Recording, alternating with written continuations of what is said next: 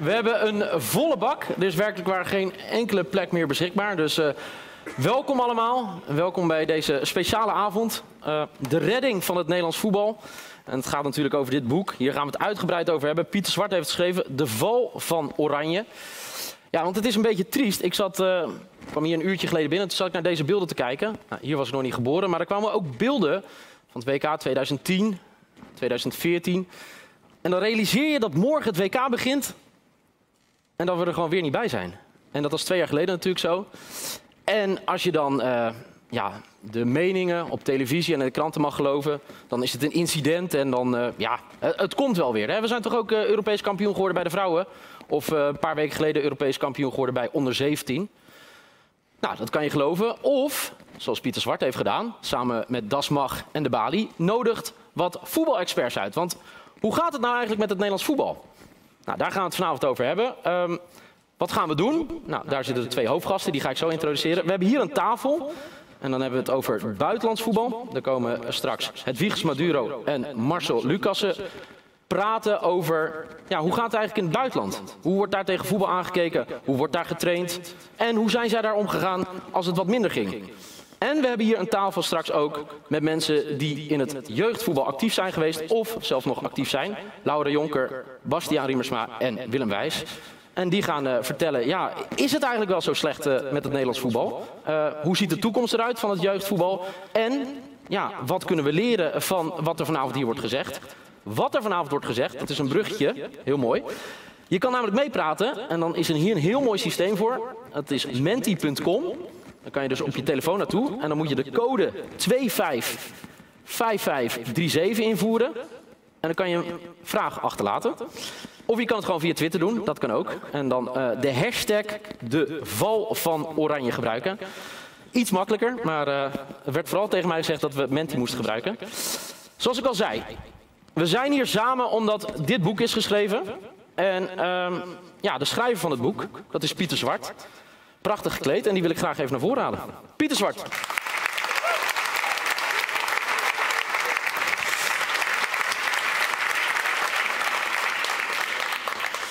Ja, de eerste teleurstelling voor mij vanavond is dat Pieter er veel beter gekleed uitziet dan ik zelf. Uh, ik ken Pieter nu, uh, denk ik, vier, vijf jaar.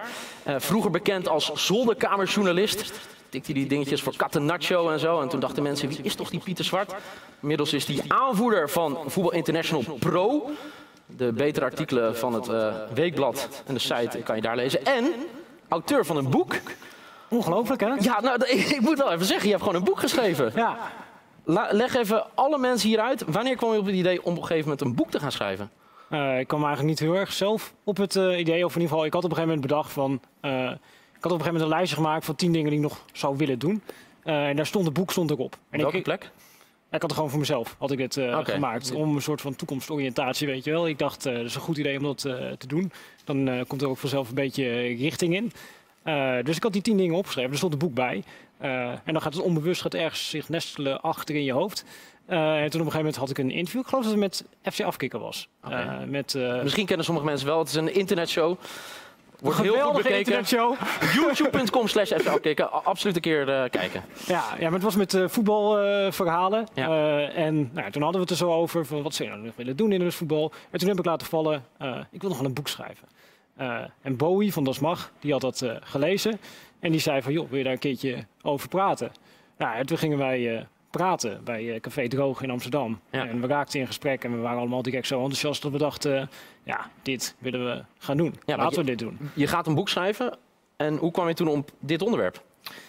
Eigenlijk, ja, het is een onderwerp waar je eigenlijk altijd uh, over schrijft. Het is altijd gerelateerd uh, daaraan. Dus je schrijft ook over buitenlands voetbal. Maar dat is natuurlijk altijd in relatie tot, maar wat zien we dan uh, in Nederland terug? En dit was natuurlijk een hele mooie gelegenheid dat Nederland niet bij een eindtoernooi is voor de tweede keer op rij. Om een beetje op rij te zetten van wat is in de afgelopen vijf à tien jaar internationaal gebeurd in het voetbal.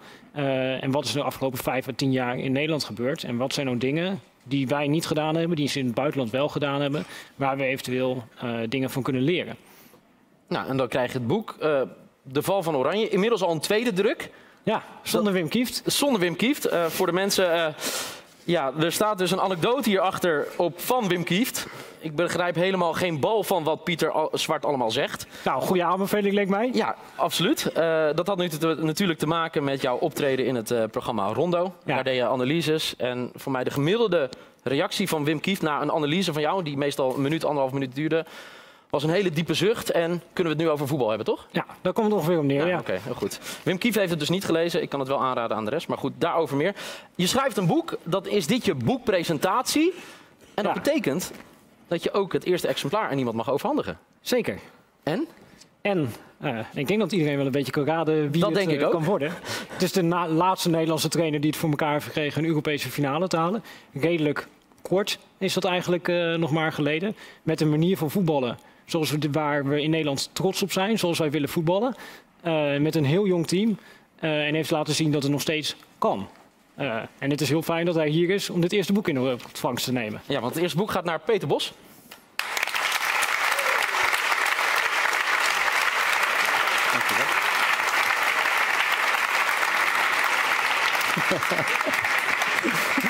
Alsjeblieft. Ja, mooi.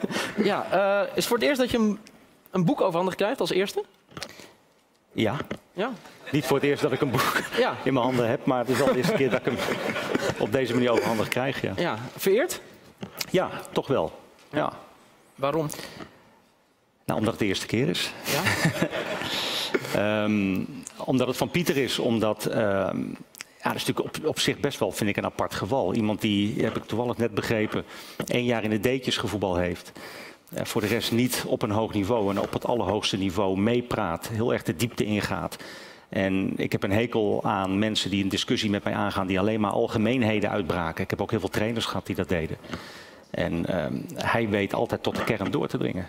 En ja, in tegenstelling tot Wim Kief vind ik dat wel interessant. Mooi. Laten we dan jullie mogen op de bank plaatsnemen. Dan gaan we het inhoudelijk over voetbal hebben.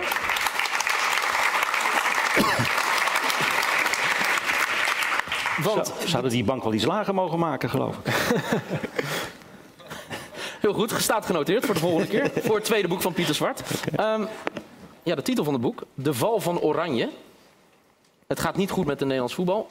Ehm, hoe erg deel je die mening van Pieter? En nou, het is duidelijk als Nederland twee keer een eindronde mist dat dat niet goed is. Het is natuurlijk vaker gebeurd in het verleden. Ehm, en, en daar hebben wij in ons kleine land zeker mee te maken. Dat je ziet, ehm, eigenlijk pas de begin jaren 70, dat we voor het eerst iets voorstelden op voetbalgebied. 69, de eerste Europa Cup finale van Ajax, die weliswaar verloren ging. Toen won Feyenoord in 70, drie keer Ajax. Nederlands elftal eh, profiteerde daarvan mee. Eind jaren 70 nog steeds. En begin jaren 80 waren we er opeens niet meer bij. En pas in 88 eh, gingen we weer meedoen. Dus je ziet wel dat dat met een klein land kan, die golfbeweging.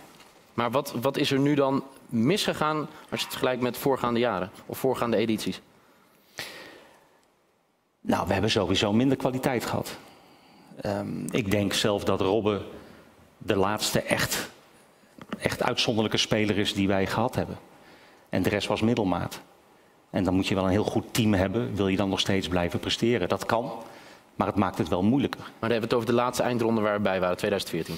Toen was hij, ja, daar heb je natuurlijk hebben we Snijder en, en Van der Vaart. Ja. En, en, maar voor mij was Robben op dat niveau de enige, voor mij echt uitzonderlijke speler. De rest waren goede spelers. Ja, als we dan even het bruggetje maken van Oranje naar jouw tijd bij Ajax. eh, jaren daarvoor. Dan, toen droomden ze, of toen hadden ze het steeds, over 95 Europees succes, de Champions League winnen. En opeens kwam Peter Bos daar en leek het opeens weer mogelijk om een Europese titel te winnen. Uit het niets. Nou, ik kan je vertellen dat het in het begin niet zo was. Ik, ik zat aan het begin van het seizoen tegenover eh F-Site en 14. En, en ja, die waren niet zo gelukkig met mij. Het ging in de competitie niet goed. We eh, werden in de Champions League uitgeschakeld. 1-4 uit in Rostov. En daarna hadden we die bespreking. Dat was zweten, kan ik je vertellen. En Dat ging niet in zo'n rustige setting, neem ik aan. Nee, nee, dat was wel grappig hoor. We hadden daar een, eh, dat was wel grappig. We hadden daar een lange tafel in het spelershome. En ehm, de spelersraad en de trainer zouden in gesprek gaan met, met, eh, met 14 en met de F-site. En wij waren als eerste binnen, dus Davy Klaas, de aanvoerder, zei van jongens, laten we nou niet hier bij elkaar gaan zitten, laten we het wat verdelen.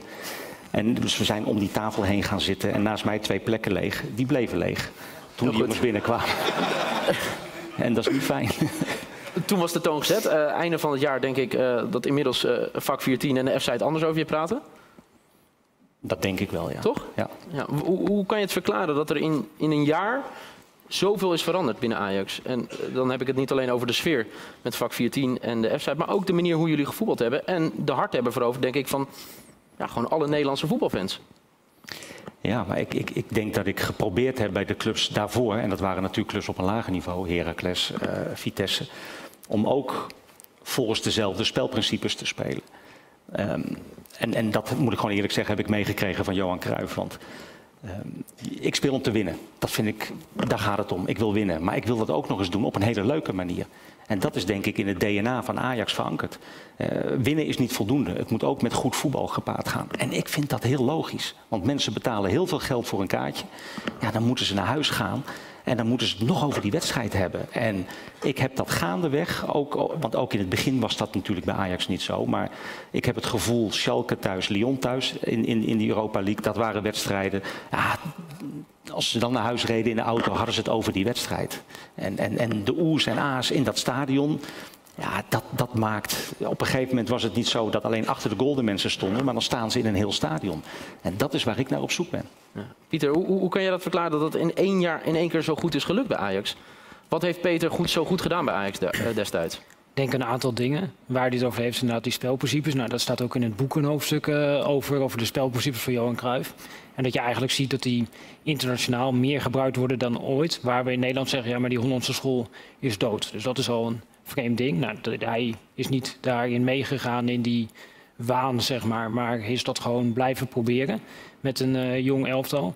Um, en hij heeft denk ik ook uh, al heel vroeg focus gelegd op de omschakelmomenten. In Nederland zijn we toch ook wel heel erg gewend om uh, vooral aanvallen te trainen, verdedigen te trainen. Vaak geïsoleerd van elkaar. Terwijl je ziet internationaal dat wedstrijden steeds meer beslist worden in die omschakelmomenten. En als je nou hebt over de vijf seconden regel die hij er bij Ajax in heeft gekregen. Nou, dat is een heel mooi voorbeeld van hoe succesvol je kan zijn op het moment dat jij je ploeg tot op de tanden toe bewapend hebt. Juist uh, voor die omschakelmomenten en hoeveel moeite teams ermee hebben om dan de oplossing te vinden in die chaotische situaties. Ja, want uh, die vijf seconden regel, nou voor mij kende iedereen in Nederland uh, die regel. Die was daarna eigenlijk heel snel weer verdwenen toen Peter Bos wegging. Ja, je zag dat ze nog steeds uh, probeerden bij Ajax om direct druk te zetten. Maar dat uh, automatisme die daarbij horen, de afspraken die daarbij horen, dat dat aan het vervagen was. Dat spelers in één keer weer baalmomenten kregen in de omschakeling, wat een heel natuurlijk gedrag is. En dat natuurlijke gedrag krijg je er alleen uit als je in iedere training uh, daar de focus op hebt, in iedere wedstrijd daar de focus op hebt. En duidelijk maakt van, oké, altijd als wij de bal verliezen, uh, direct druk. En als je dat ja, een beetje laat versloffen, dan zie je dat direct terug. En dan komt in één keer de tegenstander eronder uit. Ja, en dan heb je gigantische ruimtes in je rug. Uh, en dan komen er in één keer hele grote kansen. Want ja, iedere kans die dan kreeg, tegenkrijgt, is ook een grote kans. Ja. En natuurlijk in de eerste weken dat Peter Bos bij Ajax zat, hebben we dat ook gezien. Ja. Uh, maar uh, het klinkt allemaal zo simpel nu, hè? Uh, want je houdt vast aan bepaalde, bepaalde spelprincipes, je visie, de vijf seconden regel die Pieter net uitlegt. Maar als het zo simpel klinkt, waarom zien we het dan niet meer terug bij andere ploegen? Ja, dat weet ik niet. Dat vraag je dus aan de verkeerde. Maar, uh... maar jij hebt daar wel een idee van, want jij ziet ook andere ploegen nu spelen. Nou ja, goed. Ja, kijk, er zit gewoon op trainers een heleboel druk. Dat is gewoon zo. En ik kan me voorstellen dat trainers onder, ja, onder die druk wel eens denken, dan laat ik het dan toch maar anders doen. Ja, en dat heb ik niet. En dan ben ik bij de andere clubs altijd als naïef uh, versleten. Want dat zit natuurlijk heel dicht bij elkaar. Hè? Dat ze zeggen van als het dan die kansen oplevert, wat jij zegt. Want dan zijn die kansen heel groot. En dan, en dan lopen ze er doorheen en staan ze met drie man voor jouw keeper. Ja, dan, dan word je gauw als trainer voor naïef versleten. Maar ja, ik heb zoiets van, ja, dat moet dan maar. Ja, want uh, dat, naïeve, uh, wat je zelf zegt, hoe media jou neerzet, heeft je dat opgebroken, denk je, in Duitsland? Nee, dat heeft daar niks mee te maken. Nee? Dus dat geloof ik niet. Ja, en als het wel zo is, dan maakt me dat nog niet uit. Maar dat geloof ik niet hoor. Maar dat is meer. In Nederland zijn we heel snel geneigd om een stempeltje op mensen. Ik geloof dat ze mij op een gegeven moment de professor gingen noemen en dat soort zaken. Nou ja, goed, ik denk toch dat, dat is over voetbal. Nou ja, als je over voetbal probeert na te denken, mag dat uh, geen probleem zijn. Je kan een slechtere bijnaam hebben, toch? Nou, ik vond. Ja, voor mij hoeft dat niet, maar het maakt me allemaal niet zoveel uit, joh. Okay. Het is, Het is meer, ik vind je moet je eigen kop volgen. En dat is wat mij dus nu in de hele discussie die in Nederland gaande is, wel zorgen baart omdat uh, iedereen roept nu wat. Het gaat niet goed, dat is duidelijk. Als we dus niet bij die eindrondes zijn. Uh, we zijn nu zelfs onze Champions League plaats kwijt. Dan kun je niet blijven roepen van ach, dat komt wel goed. Of dat... Nee, het gaat niet goed. Maar als ik dan hoor wat mensen daarop zeggen. Het meer en harder trainen. Ah, dan maak ik me gewoon heel veel zorgen. Als, als mensen dat gaan roepen. Ik vind dat zo'n onzin. Maar dat is natuurlijk heel makkelijk om te roepen. We moeten harder gaan trainen. Ja, inderdaad. Maar wat is volgens jou dan wel de oplossing? Of wat zijn hele simpele dingen in plaats van al dat geroep door allemaal mensen dat jij zegt, nou probeer eerst hier aan te werken? Nou kijk, het belangrijkste is dat je eerst, en dat, dat doe ik als, probeer ik als trainer te doen, naar mijn eigen ploeg kijken en de boel goed te analyseren. Wat gaat er niet goed? En, en, dat moeten we ook voor het hele totale Nederlandse voetbal uh, doen. En dat we nu gaan zeggen, we moeten naar Duitsland kijken en daar... Uh, uh, dat hoor ik een aantal mensen zeggen. Mensen die binnen de KNVB ook een grote belangrijke functie krijgen. Ja, nogmaals, dan hou ik me hard vast. Wij zijn geen Duitsland. Wij zijn een, een, een, een geweldige voetbalnatie geworden uh, op basis van hele andere kwaliteiten. En, uh, en, nogmaals, dat is in mijn ogen ontstaan in de jaren 70. En dan zijn we dicht bij onze natuur gebleven. En ik denk dat we het vooral daarin moeten zoeken. We, we, we zijn geen Duitsland, uh, Pieter. Een van de gasten zo meteen hier gaat zitten. Uh, die heeft jarenlang in Duitsland uh, gewerkt. En het is een Nederlander. En het is een Nederlander. Uh, we hebben zometeen iemand die heel lang in Duitsland heeft gewerkt. Iemand die in, in, in de, prim, de Premier League, wil zeggen, de Primera Division jarenlang toonaangevend is geweest. Waarom wilde je deze twee gasten erbij hebben op deze avond? Nou, ik denk Marcel Lucassen, de Nederlander die in Duitsland gewerkt heeft, daar een belangrijke rol gespeeld heeft in de hervorming van het Duitse jeugdvoetbal. Die nu een topfunctie heeft gekregen bij Arsenal, waar hij de coaches gaat coachen. Uh, dat als jullie hem straks horen praten over voetbal en hem voetbal zien analyseren, dat je je afvraagt hoe is nou in hemelsnaam mogelijk dat we hem nooit eerder gehoord hebben in Nederland.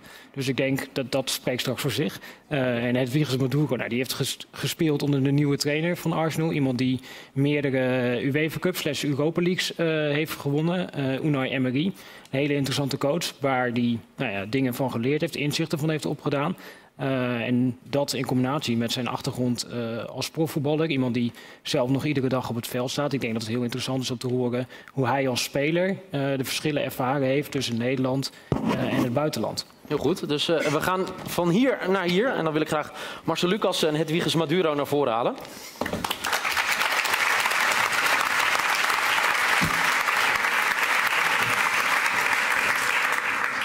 Ja, je mag de microfoons uh, naar voren halen. Ja, ik wilde jullie gaan introduceren, maar dat is al uitstekend gedaan door Pieter. Uh, Marcel, de allereerste vraag. Later. Kijk, een goede gast hier. Oriëntatie, hè? Heel goed. Okay, dankjewel. Uh, Pieter zei, Marcel heeft jarenlang bij de DFB, de Duitse voetbalbond, gewerkt. Maar eigenlijk kent niemand hem in Nederland. Hoe kan dat, Marcel? Nou, niemand. Bijna niemand, hè? Mijn vrouw kent me. Nog steeds? Daar ben ik wel blij om, ja kinderen? Um, ja, dat weet ik niet, joh. Ik, um, ik heb eigenlijk al die jaren mijn ding gedaan. En, uh, misschien komt het omdat je in de buurt van de grens woont. Dat, dat, uh, dat Limburg een beetje voor uh, de rest van Nederland meteen al een stuk Duitsland is. Ik weet het niet. Ja. Nee, het, allemaal die dingen die kwamen op mijn pad. Je woont in de buurt van Duitsland. Je kreeg vragen van Duitse spelers. Je kreeg vragen van clubs. En ik werkte met verschillende clubs en spelers. En van het een kwam het ander. En dan doe je waarschijnlijk iets wat, vrij, wat goed is en mensen gaan vragen. Dus ik heb, uh, en als mensen vragen kun je een keuze maken of je dingen doet of niet. Dus uh, dat was wel prettig. Ja, want je hebt zeven jaar bij de Duitse Voetbalbond gewerkt. Op een ja. gegeven moment uh, belde Matthias Sammer jou op. Ja. die was toen eindverantwoordelijk voor het technisch gedeelte voor mij bij de Duitse Voetbalbond. Ja, nou, hij was een van de initiators om eerst die infrastructuur uh, te verbeteren. Maar ja, hij wist ook wel van dommers goed, omdat het uh, ook wel iemand is die um, de vervelende luis in de pels kan zijn. Nou, dat is alleen maar goed, vanuit een, uh, een technisch perspectief. En daarin ook snapte van, we kunnen die infrastructuur veranderen, want die moest veranderd worden in Duitsland. Maar uiteindelijk is het daar waar het om gaat, is wat op het veld gebeurt. Dus dan heb je wel hele mooie faciliteiten. Maar als op het veld alles hetzelfde blijft, ja, dan verander je natuurlijk niks. Dat klinkt heel simpel, maar dat begreep hij heel goed. En hij wist ook dat we dat we niet moesten zoeken in een eigen, um, in een eigen land. Dus toen ging hij op zoek inderdaad van, nou, wie kan ons daarmee helpen? Ja, en dan komen ze bij de relatief onbekende Marcel Lucas uit. Ja, misschien voor Nederland wel, maar ja. ja. En wat heb je uiteindelijk daar uh, gedaan in die zeven jaar? Ehm, nou goed, in het begin was het wel de vraag van nou, wat gaan we dan veranderen met elkaar? En dan ga je eerst kijken wat doet iemand goed. Hè? Want uh, je gaat niet meteen als een olifant door die porseleinkost van uh, nu ben je de Nederlander en we weten het allemaal beter. Hè? Zoals het vaak gebeurt helaas in de wereld. Maar uh, eerst maar eens wat doen we goed. En vanuit dat perspectief kijken wat ga je dan verbeteren. Maar dan in detail. En um, om te zorgen, want we praten wel over niet alleen de grootste voetbalbond, dus de grootste sportbond in de wereld. Je praat over 7 miljoen leden. Dus we praten over een heel ander perspectief dan in Nederland. Dus en wat, hoe ga je nou um, vanuit, vanuit de top-down, want je kon daar niet bottom-up werken, moest van top-down, met de nationale teams een, um, een, spelfilosofie creëren. En hoe ga je dat nu trainen en coachen? Um, en zodoende ook de clubs daarin bereiken. Dus dat is eigenlijk een heel ander uitgangspunt. Vanuit die kant, dus vanuit de, de, de nationale teams, dat voor laten vloeien naar de clubs. Zonder dat de clubs hun eigen uh, uh, filosofie verliezen. Want maar goed, en wat goed was, was dat je in de praktijk meteen dingen liet zien. Wat meteen aansprak voor de nationale teamcoach. Want zoals Pieter al zei, ik kom als Nederlander in een Duitse uh, voetbalcultuur. Dus je weet meteen wat er. Maar ik ben met die dingen helemaal niet bezig. Dus je doet de dingen uh, meteen vanaf het begin. Dat je geen onzin vertelt. Je laat het in de praktijk zien. En je krijgt heel veel nationale teamcoaches. Hè? Want als een nationale teamcoach natuurlijk zegt tegen zijn team: um, Jongens, dit is uh, Herr Lucassen, zoals het daar gaat. Ja. Hij zal de hele trainingskamp doen, alle trainingen en analyses en in detail. Luister goed naar hem, want als ik hem als trainer had gehad, dan had ik die bal niet zo uh, uh, vermommeld. Hè? Dus ja, nou goed. Dan doet hij dat met een lach, maar hij stelt zich wel kwetsbaar op. En ik denk ook dat dat is iets, en dat zal Peter misschien op aan, wat de Duitsers ook siert, de bescheidenheid. Ondanks dat ze groot zijn en kwaliteit en potentieel hebben, zijn ze ook bescheiden. Ja. Demoed. Hè? en dat is ook een, een kwaliteit. Ja, je, je hebt dat mij... was een gele kaart, hè? Is dat een gele kaart? Ja. ja? Oh, twee... dan ben, ben, je nog mild. En twee gele... Ja, ik, ik, ik wil het maar al uitsturen. je wilt er gebeuren met twee gele kaarten. Ja. heel goed. Uh, zometeen gaan we ook naar een fragment kijken... wat jij uh, bij een van de Duitse jeugdploegen uh, wilde in training laten zien. hier links zit het Wiegers Maduro. In Nederland ja, in de top gevoetbald bij Ajax. Toen ging je naar het buitenland. Toen ging je naar Spanje. Naar Valencia. En wat dacht je toen? Topland. Ik wilde eigenlijk altijd al uh, in Spanje spelen. Ja. Dus uh, mijn droom was om uh, als jongetje in Spanje te spelen. En dat was gewoon een droom die uitkwam. Ja. hoe, hoe anders is het voor jou om te voetballen bij een ploeg waar je nou, 9 van de 10 wedstrijden altijd de beste bent. Naar Valencia, dan ben je 6, 7 keer de beste in, in, het jaar? Nee, je hebt natuurlijk wel betere ploegen dan Valencia daar. je speelt daar tegen Barcelona, Real Madrid, Atletico Madrid. Um, ja, dus dan bij Ajax ben je eigenlijk gewend om uh, ja, eigenlijk de beste te zijn, om altijd te willen winnen. Je nooit uh, hoeft aan te passen.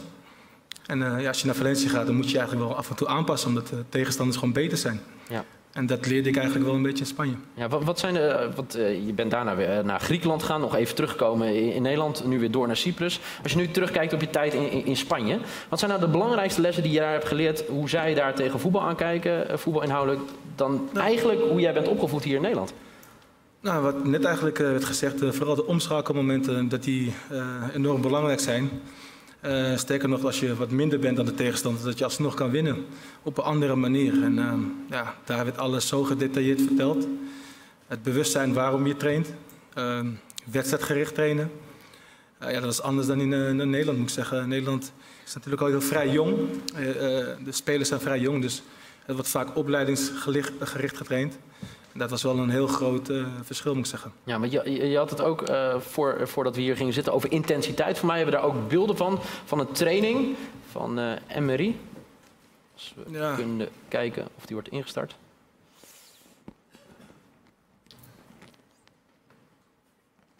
Altijd spannend. Kijk. Ja, dit bijvoorbeeld. Dit is dus een dag voor de wedstrijd. Er werd gewoon eigenlijk die wedstrijd nagebootst. Bepaalde omschakelmomenten en met bepaalde intensiteit. Ik ben het ook helemaal eens eigenlijk met meneer Bos, die zegt over harde trainen. Ik denk dat in het buitenland kan je niet harder trainen omdat je zoveel wedstrijden hebt. Dus dan zijn die trainingen vaak korter, maar wel met hogere intensiteit. Misschien ook omdat de kwaliteit beter is. Maar uh, dit is dan een training, uh, wat je net zag, een aanvallend opzicht. Werd het even nagebootst. Uh, als de tegenstander die bal bijvoorbeeld daar verliest, direct eruit komen. En ja, dat zijn andere trainingen die je vaak in Nederland ziet. En zoals je ziet, de trainer doet hier ook mee. Hij is heel fanatiek. Unai Emery. Ja. Maar uh, zometeen zie je uh, ook verdedigende acties, zeg maar. Er werd vaker gezegd, uh, linksbuiten, een fantastische speler. Maar wat gebeurt er als die linksbuiten langs je rechtsback gaat? Wie neemt de over, wie neemt de rugdekking, gaat de rechter centrale verdediger uitstappen, gaat de rechter middenvelder uitstappen. Dat is dit bijvoorbeeld. Dan ging hij het nabootsen dat hij dat je eens een keer uitgespeeld kan worden. Maar wat gebeurt er dan? Zie je, die ene doet niet meer mee. En dan komt de volgende, eventjes heel klein. Ja. Ja, dit, dit zijn wedstrijdgericht uh, trainen, noem ik, noem ik het. Ja, dit, uh, dat vind ik wel mooi om te zien. En ik heb dat uh, geleerd in Spanje. Maar dit, is een dag voor een wedstrijd? Dus ja. werd er gewoon niet rustig aangedaan? Werd ook nog steeds... Nee, nou, een bepaalde intensiteit. Het is heel kort, ja. met, met intensiteit, maar... alles wat we deden, deden we wel 100%, zeg maar. En ja, dat is, wel, uh, ja, dat is wel wat anders, moet ik zeggen. Ja, want leg dat eens uit. Intensiteit wordt vaak gebruikt in, in de voetballerij tegenwoordig. Ja, het heeft ook met kwaliteit te maken. Ik denk uh, als je bijvoorbeeld een oefening doet en die bal gaat minder vaak uit, bijvoorbeeld, heel simpel gezegd, dan heb je ook meer uh, hogere intensiteit. Um, je kan wel intensiteit kweken ook, um, denk ik, door de mindset bij de jongens. Um, het komt eigenlijk uit jezelf, vind ik. Je moet altijd alles 100% willen geven. Denk dat het wel een taak ook is voor de spelers zelf, maar ook voor de trainer die dat kan, kan kweken. En uh, ja, dat is wel uh, heel belangrijk, vind ik, het, het, bewustzijn van waarom je iets traint uh, om die wedstrijd te winnen uiteindelijk. En uh, in het buitenland is het een bepaalde volwassenheid die veel hoger is eigenlijk dan in Nederland, ook vanwege de leeftijd. de leeftijd ook vaak. Maar ik denk dat het bewust maken van de jongens waarom ze trainen in Nederland, dat het af en toe beter kan en dat, dat, het nog wel, dat er progressie in ligt. Er zit iemand heel scherp in de zaal, want die, uh, die heeft, uh, er komen meerdere vragen binnen, maar die, die vraagt, uh, Peter Bos zegt net, we moeten juist niet naar Duitsland kijken. Marcel, hoe kijk jij daarnaar? Nou, ben je er ook mee eens. Ja? Ja. Um, maar je kunt wel naar Duitsland, Spanje, Frankrijk en overal in die landen kijken van wat doen ze daar goed en past dat binnen onze Hollandse school of Hollandse manier van opleiden. En wat kunnen we daarvan leren? Dat moet je wel doen natuurlijk. En dan moet het wel heel objectief zijn, maar ook passen hier binnen deze voetbalcultuur. En daar is wel heel veel uit te halen. Bepaalde. Maar je moet niet willen dat je dus iets gaat... Ja, want dan gaan ze vaak de verkeerde dingen eruit halen. Je kunt niet een, een laten we zeggen, een volksaard kun je niet kopiëren. Ze hebben daar bijvoorbeeld de Duitse Tugenden. Nou, daar wordt in Nederland vaak nog lacherig over gedaan. Maar dat is wel een kwaliteit wat in die spelers ingeburgerd zit.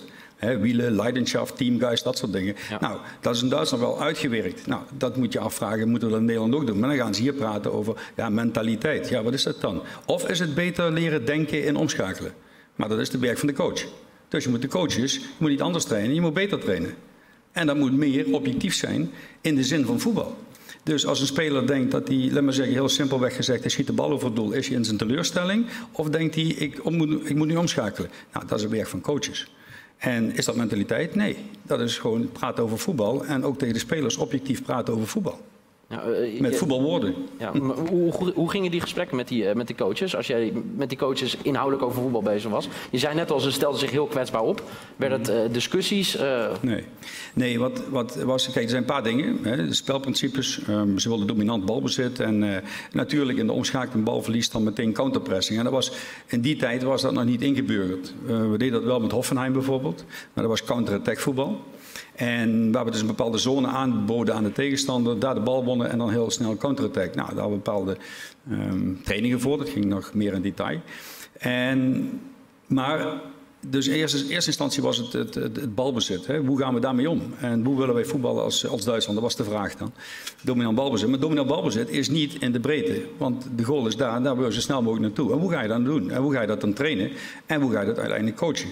Nou, dat ging heel diep in de details. En als dan iedere maand uh, bespreking had met de nationale teamcoaches, ja, deed ik meestal een half uur tot drie kwartier met videoanalyses van onze teams.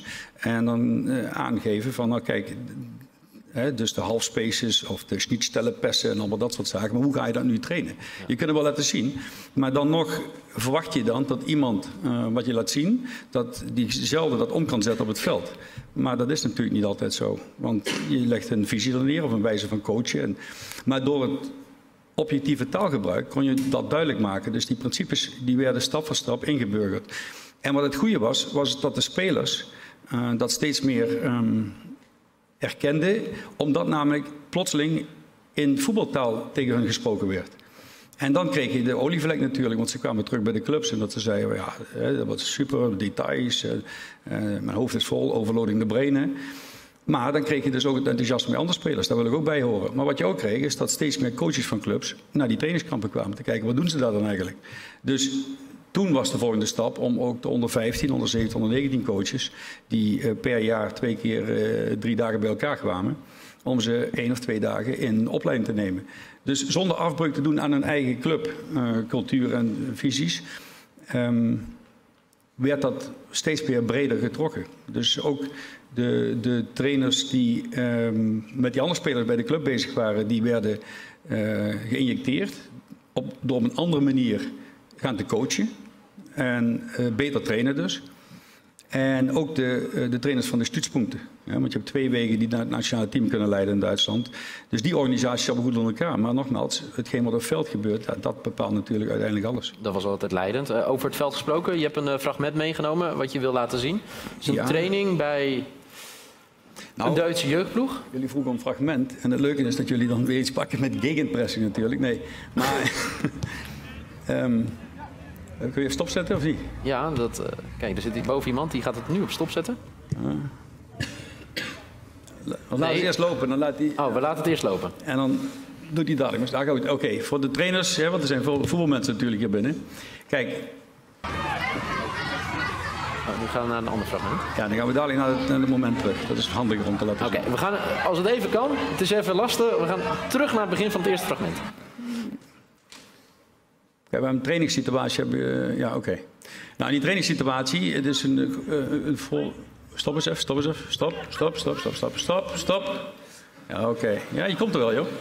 Ja, ik leer nu ook weer wat van jou, hè? Hoe je tegen de mensen boven moet praten. Ja. Objectief. Hè, dus 1, 2, 3, vier spelers in de buitenkant en twee in de midden. Dus, uh, en vier uh, tegenstanders. Nou, dit was eigenlijk een volgende stap. Dus onder 16 was dit volgens mij. Maar die waren al wat verder, want uh, je begint natuurlijk in een, een meer simpele uh, vorm. Ondanks dat er altijd tegenstanders bij waren. Dus vergeet dat niet, hè, want uh, dit is Pasen. Want Pasen maak je keuzes. Ik zie vaak trainingen, en nog steeds heel veel trainingen.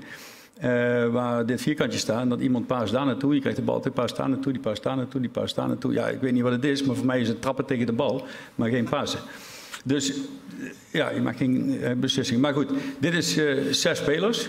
Maar dit was eigenlijk de eerste aanzet dus te leren dat ze in die organisatie van diamanten en driehoeken, maar dat ze ook posities wisselen zonder dat de organisatie verandert. Dat was één ding.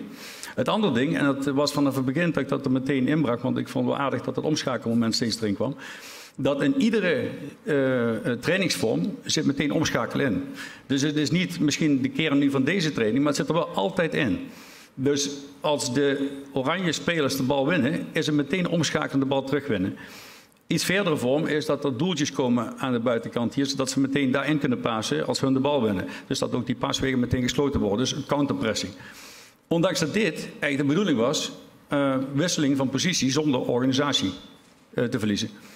Nou, en dan deze speler. Hem maar slopen. En dan zeg ik zo meteen weer stop. En dat is. Uh... Kijk, deze speler. Stop, oké. Dus wat je ziet, het gedrag van twee spelers. En ik pak even deze twee spelers. Nou, hij paast de bal, teleurstelling, want hij speelt de bal niet met de juiste snelheid, omdat hij zijn lichaam rechtop en een zwaartepunt achter. Maar goed, dat zijn andere dingen. De uitvoering van pasen. Maar hij is teleurgesteld over die paas. Ziet dat de bal verloren wordt en blijft staan. Dus dat ene moment, wat dan niet een seconde is, dat bepaalt dus of, of deze tegenstander dadelijk in de wedstrijd meteen in de counter-attack kan. Deze speler die die bal meteen terugwint, staat hier en reageert van die positie om die bal terug te winnen. Dus dat is een gedrag van spelers. Nou, nu is dit een nationaal team. En uh, deze speler komt van Bayer Leverkusen op dat moment. En dat deden ze dat niet. Als de bal verloren, gingen ze in de organisatie. Die speler komt van Stuttgart en dan waren ze net bezig met, oké, okay, als we bal verliezen, gaan we meteen druk zetten. Dus het geeft ook aan in de opleiding dat je het gedrag van spelers, mits het ingeburgerd is in je oefenvormen, onafhankelijk van welke leeftijd, want kleine kinderen doen het automatisch al, dat kunt beïnvloeden. Ja, maar goed, dan gaan we naar die wedstrijd. We mogen door. Ja. Toch? Ja. ja. Check het even. Dus onthoud die speler. Hij speelde met het nationaal team ook. Hoor. Dat is de speler. Deze jongen. En dit is die speler die meteen omschakelt. Oké, stop. Oké, goed zo. Nou, wat, wat nog een goed team. Er zit iemand heel erg te zweten daarboven nu. Kijk, waar het nou om gaat, want hij heeft nu die paas gespeeld, maar ook hier heb je nu een omschakelmoment. Want het is niet zo dat het nu zijn wedstrijd het niet meer is. Dus het is een leerproces over die speler in allerlei vraag, vraag, en vraagvormen dan natuurlijk. Wat zou je nu doen na deze wedstrijd? Wat moet je doen eigenlijk? En uh, na deze paas? Uh, welke positie ga je nu kiezen? Wat, uh, wat zou er kunnen gebeuren als we de bal verliezen? Allemaal dat soort zaken. Wat doe jij? Wat doe jij? Dus individueel coachen binnen de teamontwikkeling. Maar individueel coachen heeft ook altijd een consequentie voor al die andere spelers. En wat is jouw rol? Want je ziet hetzelfde, coach je hem of neem je over. Dus uh, op, op spelinzicht. Hè? Dan gaat verder. Maar wat gebeurt er nu? Als het uh, gaat starten. Ja. Oké, stop. Dus op het moment dat hij na die paas de situatie leert herkennen, en iedere situatie gaat anders zijn, maar het denken van ik heb gepaast en nu meteen omschakelen positie kiezen, dat is de positionering hier. Misschien krijgt hij de bal, ik weet niet, want ik weet niet wat hij doet. Hè?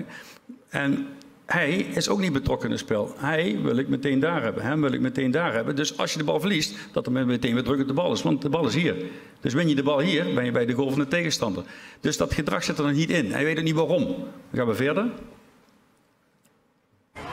Dus de bal wordt verloren. Nou, dit is wat er gebeurt. Je ziet dat hij een natuurlijk gedrag vertoont.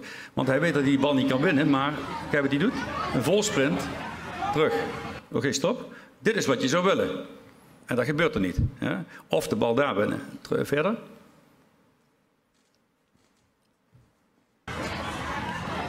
Kijk, dan komt die lange bal, denk ik. is geen druk op de bal, hè? Oké, en stop. Oké, dit is Spanje. En je ziet 1, 2, 3, 4, 5, 6, 7, 8 witte spelers. En de bal is daar. Nou, die kunnen ook voetballen, die andere jongens. Dus dat betekent dus nu dat je je bewust maakt, waarom is dat nou belangrijk? En je laat ze hun antwoorden. En wellicht dat je in een verder stadium deze speler ook dit laat analyseren, zodat hij het uit gaat leggen voor de groep. En uh, daarin alle facetten benoemt. En daardoor ja, laat je spelers groeien en meedenken over voetbal en over het proces. Want uh, uiteindelijk moeten hun uh, de keuzes maken in het veld. Want die keuzes van de speler die kun je niet co coachen. Nee. Hè? Dus want het is een spelersport. Dus deze details, en dat is alleen op dit. Maar, want pressing is natuurlijk ook zo'n woord. Pressing is al een agressief woord. Dus nou, als je een verdedigingszone, een middenveldzone en een aanvalzone. En dus uh, verdedigingspressing, middenveldpressing, aanvalspressing, dat is overal pressing. En counterpressing is een specificatie. Nou, dan moet je wel duidelijk maken in detail wat daarvoor nodig is. En Hoeveel tijd heb je nog? Ja, we kunnen gewoon door. Okay. we hebben de hele avond. Ja, dus, dus dit is dan alleen maar op, op, op, eh, op, uh, op dit moment dan gericht om te laten zien wat het gedrag betekent van de spelers. En dat het trainbaar is en coachbaar is. Alleen, je moet het inbedden in iedere trainingsvorm. Ja, maar wat ik interessant vind, dit is bij de Duitse nationale jeugdploeg. Ja. Uh, deze spelen keer terug bij Bayer Leverkusen. Mm -hmm. Daar trainen ze niet zo. Ja.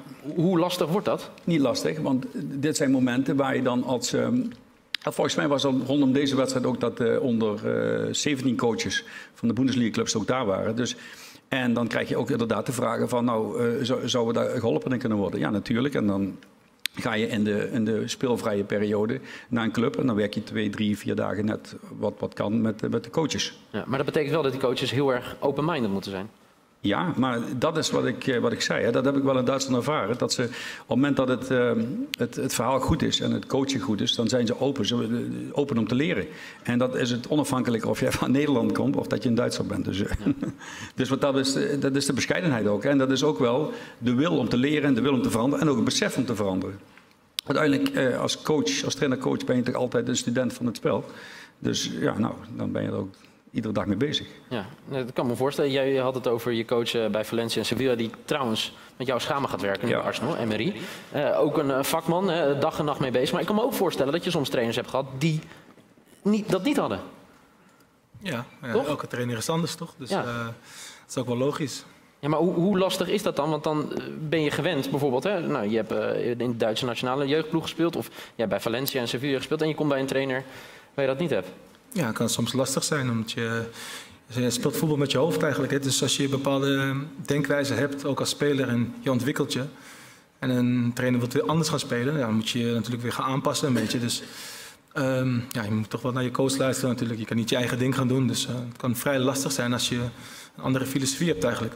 Ja, maar ik kan me best voorstellen, je zegt uh, je moet naar je coach luisteren. Maar als die coach dan niet zo denkt, hè, zo, zo diep in het spel zit, in de details zoals Marcel zegt, dan is het best lastig om met zo iemand samen te werken. Ja, dat kan ook heel lastig zijn. Ja. Af en toe denk je, ik heb ook trainers gehad dat ik denk van, nou, in Spanje was het anders bij wijze van spreken. Of ja. uh, ik zou het misschien, is dit misschien niet beter. Dus uh, hoe ouder je wordt, ga je ook natuurlijk, uh, je krijgt meer ervaring, dus je gaat meedenken eigenlijk.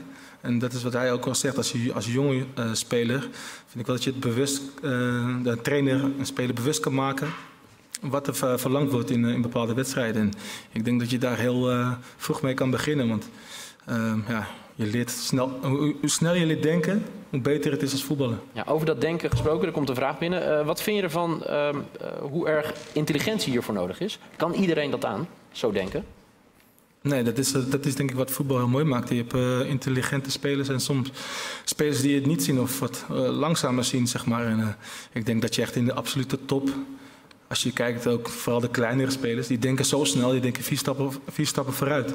En dat is het verschil wat echt, of je wereldvoetballer bent of geen wereldvoetballer bent. Het sneller denken en situaties herkennen in het veld. En ja, die situaties eigenlijk gewoon uh, goed oplossen. Ja, hoe, hoe, erg is dat trainbaar? Het sneller denken en te zorgen dat je situaties sneller leert? Ja, dat kan. Dat kan ook een bepaalde oriëntatie. daar hadden we toevallig voor de show over. heel een klein voorbeeld bijvoorbeeld een paas- en trapvorm van als je van A naar B speelt. En als, B, als je nummer B bent, je krijgt de bal. In Spanje had je een trainer achter je staan met een gekleurd hesje. Die deed hij dan omhoog. Zo leerde je achter je kijken, zeg maar, voordat je die bal kreeg. En dan moest je dat hesje, of het kleur hesje moest je opnoemen. Dus ja, voordat je die bal hebt, had je al achter je gekeken. Dus je wist al wat er, wat er daar gebeurde, zeg maar. Dus dat zijn kleine dingetjes, zeg maar. Waar je, daarom zijn ook het, uh, elftal. Het zijn eigenlijk allemaal kleine voetballers. Maar die zijn zo goed in de ruimtes vinden en het al, uh, zien. Nou, we kennen uh, Iniesta, we kennen Xavi eerder natuurlijk. En nu heb je Isco. Nou, die zijn zo allemaal goed dit, in... ja, die zijn allemaal klein. Ja, nou, daarom. Dus dat vind ik wel interessant. Oké, okay, heel goed. Hedwiges, dankjewel. Marcel, dankjewel. We gaan weer terug naar de bank. Dankjewel voor jullie tijd, mannen.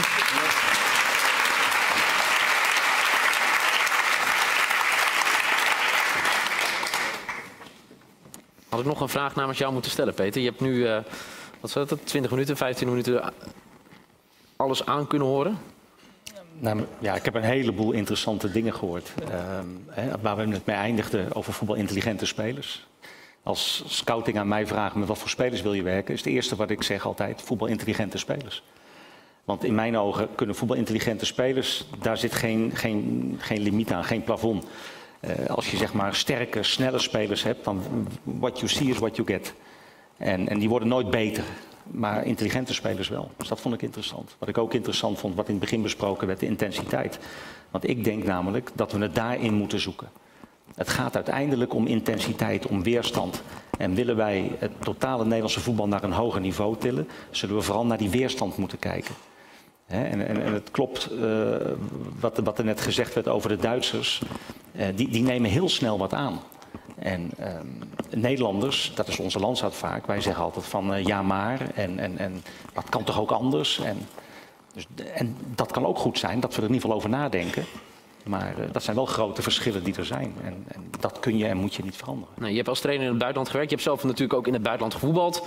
Frankrijk, Duitsland, Japan. Uh, wat zijn nou interessante lessen bijvoorbeeld uit Japan in je tijd bij Jeff United? Dat je denkt, nou toen als voetballer dacht ik, hm, apart dat ze het hier doen. Maar dat je nu denkt, ja, dat hadden de Japanners toch wel goed voor elkaar daar.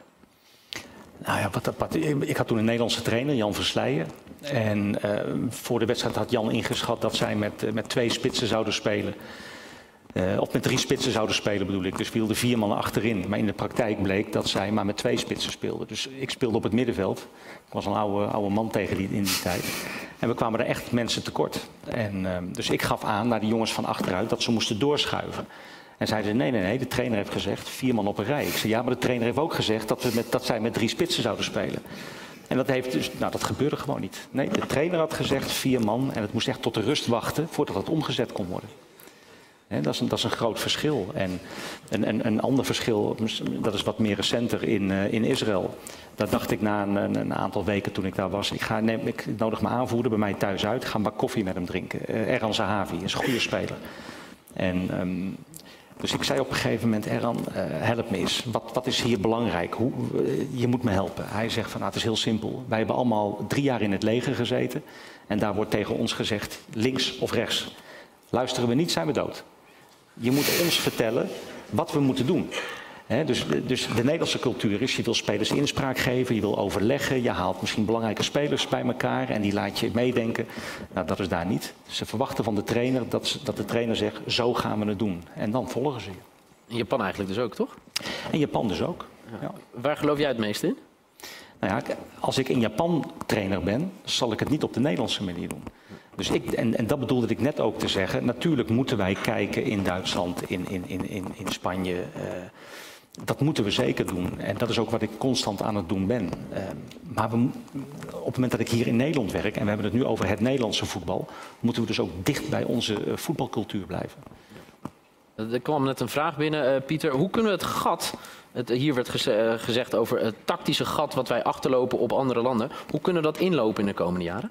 Uh, ik denk in ieder geval vaker mensen uitnodigen die daadwerkelijk over voetbal praten. Ik denk dat als Marcel Lucas dit college een paar keer had gegeven op de Nederlandse tv, dat dat uh, wat Nederlandse trainers had uh, kunnen helpen om die voetbaldetails te zien.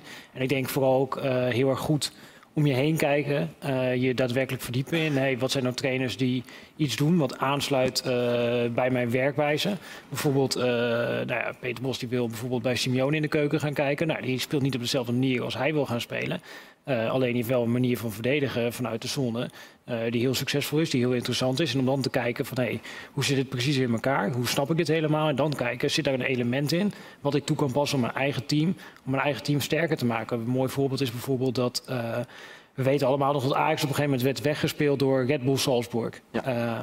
En twee maanden daarvoor had Pep Guardiola, toen trainer van Bayern München, ook uh, tegen dat team gespeeld.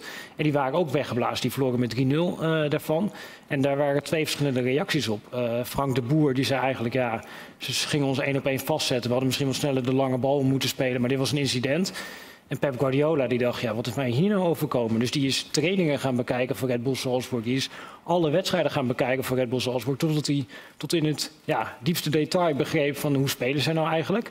Uh, en dan heeft, hij vervolgens niet zijn werkwijze aangepast dat hij is gaan spelen, zoals Red Bull Salzburg. Maar wel gekeken van, kan ik in mijn pressing daar dingen voor gebruiken? En de volgende keer dat hij tegen diezelfde coach speelde, ja, toen had hij een oplossing paraat, omdat hij wist wat ze gingen doen. En dat hij een uh, tegenzet had.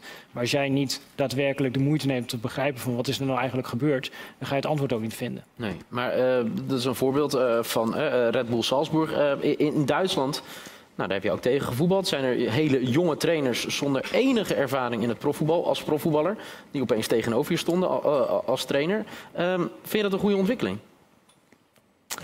Ja, prima. Interessant. Ja, want uh, in, in, Nederland zien we dat niet zo snel. Uh, nee, dat is waar. Um, en, en, en op dit moment in Duitsland pakt het ook goed uit. Als je naar Schalke kijkt, ja. die hebben toch een geweldig seizoen achter de rug. Met een hele jonge trainer. Uh, en het is eigenlijk denk ik een beetje ingegeven door Nagelsman. Die het gewoon goed doet bij, uh, uh, wat is bij Hoffenheim. Hoffenheim ja. en, um, en het daar gewoon goed doet. En dan zie je opeens dat andere clubs dat ook durven. Dus dat is denk ik wel een hele mooie, interessante ontwikkeling. Vooral ook omdat die trainers, vind ik, op een hele interessante manier spelen. Dus dat vind ik wel mooi om weer naar te kijken.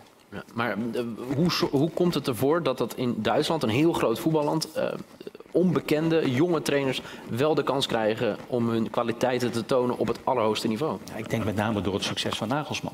En dat andere clubs denken van hé, hey, dat kan dus, dus waarom doen wij dat niet? Uh, Schalke heeft een heleboel grote namen zeg maar, gehad, minder succesvol en nu zo'n jonge jongen. En dat zie je nu ook bij, bij Bremen, die sturen de trainer eruit. Een, een jeugdtrainer neemt het eigenlijk over en, en blijven er ook in. En dus ik denk dat het een beetje dan navolging vindt. Ja. Wij hebben natuurlijk in Nederland wel voorbeelden gehad van trainers die het anders wilden doen. Een Peter Hiballa bij NEC, afgelopen half jaar Pepijn Leinders. De rechterhand van Jurgen Klopp bij Liverpool werd binnengehaald. Nou, die is inmiddels weer terug in Liverpool en heeft het niet zo goed gedaan bij NEC. Um, jij hebt hem gevolgd, ja. een half jaar tijd. Uh, ja. Hij had waarschijnlijk de deur open kunnen zetten voor nog meer jonge trainers. Ja, Maar waar denk, ging het fout? nou ja, als hij het goed gedaan had, dan was dat inderdaad had dat snel een olievlek Is geweest. het zo makkelijk? Ja, ik denk wel dat dat helpt. Als hij het goed doet, dan gaan andere clubs toch ook denken van nee, kunnen wij ook niet zo'n eh, type binnenhalen die dan eh, een bepaald soort voetbal op de mat brengt. Want wat hij natuurlijk wilde daar, was op dezelfde manier pressen zoals hij bij Liverpool deed. Diezelfde manier van spelen met diezelfde hoge intensiteit. Maar als je het hebt over een voorbeeld van waar het mis is gegaan. Ze speelde bijvoorbeeld die eerste wedstrijd tegen Go Ahead Eagles. Nou, de trainingskamp ervoor voor twee weken. Hij had ze tot de tanden toe bewapend. Hij wist hoe Go Ahead ging spelen en hij ging zijn pressingvoetbal spelen. Uh, wat je dan ziet is dat je het dubbele aantal sprints op hoge intensiteit hebt ten opzichte van een gemiddeld duel in de eerste seizoen zelf. Dus die spelers die zijn daarna vermoeid, die moeten herstellen. En drie dagen later spelen ze uit tegen FC Os. Ja, toen stonden ze binnen vijf minuten met 1-0 achter. En daarna hadden ze niet meer de energie om dat pressingvoetbal uit te kunnen voeren. En dat is ook een nadeel van dat jij in de winterstop instapt. Want je hebt eigenlijk helemaal niet de tijd om dat uh, team echt goed naar je hand te zetten. En hij is daar denk ik te snel ingegaan en had misschien dat in kleinere stapjes moeten doen om uiteindelijk direct succes te kunnen boeken. Ja, toch herinner ik me, en verbeter me als ik het niet goed zeg hoor Peter, maar dat het belangrijk is aan je visie vast te houden als trainer. Ja, maar ik hoor heel vaak de hele discussie van veranderen. Want het gaat niet goed, dus we moeten veranderen. Of zullen we misschien eens moeten kijken, wat deden we hiervoor nou goed? Ja. En waarom doen we dat nu niet meer goed? En daar geloof ik veel meer in. En ik ben inderdaad iemand van, als ik helemaal een visie heb, en die visie die baseer ik natuurlijk ook op de spelers die ik heb en, en, en de ploeg waar ik mee, mee voetbal. Um, maar dan hou ik eraan vast. Want ik, er is een moment geweest dat ik dacht van dit is het beste om te doen met Ajax. Of met welke club dan ook. Maar dus had Pepijn wel gewoon vast moeten houden aan zijn visie, want uiteindelijk is hij wel gaan aanpassen. Ja, nou, er was, er waren op een gegeven moment natuurlijk gesprekken met de spelersgroep die zeiden van ja, voor ons gaat dit uh, te snel. Toen hadden ze van de eerste zeven wedstrijden hadden ze de vier verloren, eigenlijk allemaal uitverloren. Je wordt opgewacht door een. Uh, ja, de spelersbus werd iedere keer opgewacht uh, door boze supporters. Ja. Uh, nou ja, dus er dus zat heel veel onzekerheid in die ploeg. Volgens mij heb jij het ook meegemaakt met Dortmund... dat op een gegeven moment die verdedigers gaan dan naar achter lopen. Uh, en toen heeft hij binnen zijn visie... heeft hij wat dingen, bijvoorbeeld de manier van pressen... heeft hij aangepast. Hij wilde eigenlijk vanuit de pressing... een 2 tegen 1 situatie creëren op de vleugel. Nou, die spelers kwamen vanuit de mandekkingsstructuur... dus toen heeft het aangepast naar dat ze vanuit de zone... dat ze 1 tegen 1 kwamen te staan... op het moment dat ze dan druk zetten op de vleugel. Nou, zo heeft hij twee, drie dingen heeft hij aangepast. En daarna hebben ze eigenlijk constant best wel goede resultaten gehaald. Alleen Fortuna heeft daarna ook alles gewonnen. Uh, en die hebben eigenlijk evenveel punten gehaald uh, na de winterstop ongeveer. Maar bij Fortuna uh, was het volledig Hosanna. En bij NEC was het een drama. Dus zo dichtbij zit het vaak ook in het voetbal. Ja. Ik heb me één keer aangepast bij, bij Dortmund. Dat was toen we uit naar Real Madrid moesten. We zijn thuis, moet ik eerlijk zeggen, ondersteboven gespeeld. En daar had ik vrede mee. Want ze zijn echt goed. Ja, dat, uh, dat zie ik als ik er kijk. En, en, we probeerden druk te zetten en mijn ploeg probeerde dat met, met, met volle overtuiging. Ja. En, en, we stonden op dat moment bovenaan in de Bundesliga, dus het vertrouwen was er. Maar we werden echt ondersteboven gespeeld. Dan ga je naar Bernabeu toe en toen dacht ik van, nou nee, op dat moment hadden we ook in de competitie een aantal wedstrijden verloren. Ik ga me aanpassen. En na tien minuten dacht ik, wat ben je een lul man. We stonden 2-0 achter al. En, en, en nergens druk op de bal. Maar dat komt natuurlijk omdat ik opeens, zonder er echt op getraind te hebben, een hele andere manier van spelen ging introduceren. Waar je normaal zes weken voorbereiding en je gaat. En nu dacht je van, ah, laten we nou toch maar hè, wat compacter met z'n allen bij elkaar, met vijf man achterop. En ik dacht echt, wat een lul. 2-0 dus? achter. Ja, hebben we dat gewoon in de eerste helft al aangegeven. Dat we zeiden, ga gewoon weer druk zetten naar voren. En dan moet ik eerlijk zeggen dat Real ook het voetje wat van het gaspedaal haalde. Dus, maar uh, tegen Schalke heb je op een gegeven moment wel ook binnen dezelfde spelprincipes de formatie aangepast ja, ja. in die wedstrijd. Klopt, dus we bleven wel druk naar voren geven. Dus de principes bleven hetzelfde, maar we hebben dat wel met een ander systeem zijn we dat Ja, en zij waren er door verrast in die openingsfase eigenlijk een beetje. Dat is die eerste helft, hè? Ja. 4-0, 4-4, toch? 4-0, 4-4, ja. Ja, voor, voor, mij als neutrale toeschouwer, ik heb uh, genoten. Ik wrijf het nog maar eens. Maar wat, wat gebeurde er na een half uur? Want Tedesco die wisselt op dat moment. Wat, wat zie jij dan gebeuren vanaf de bank?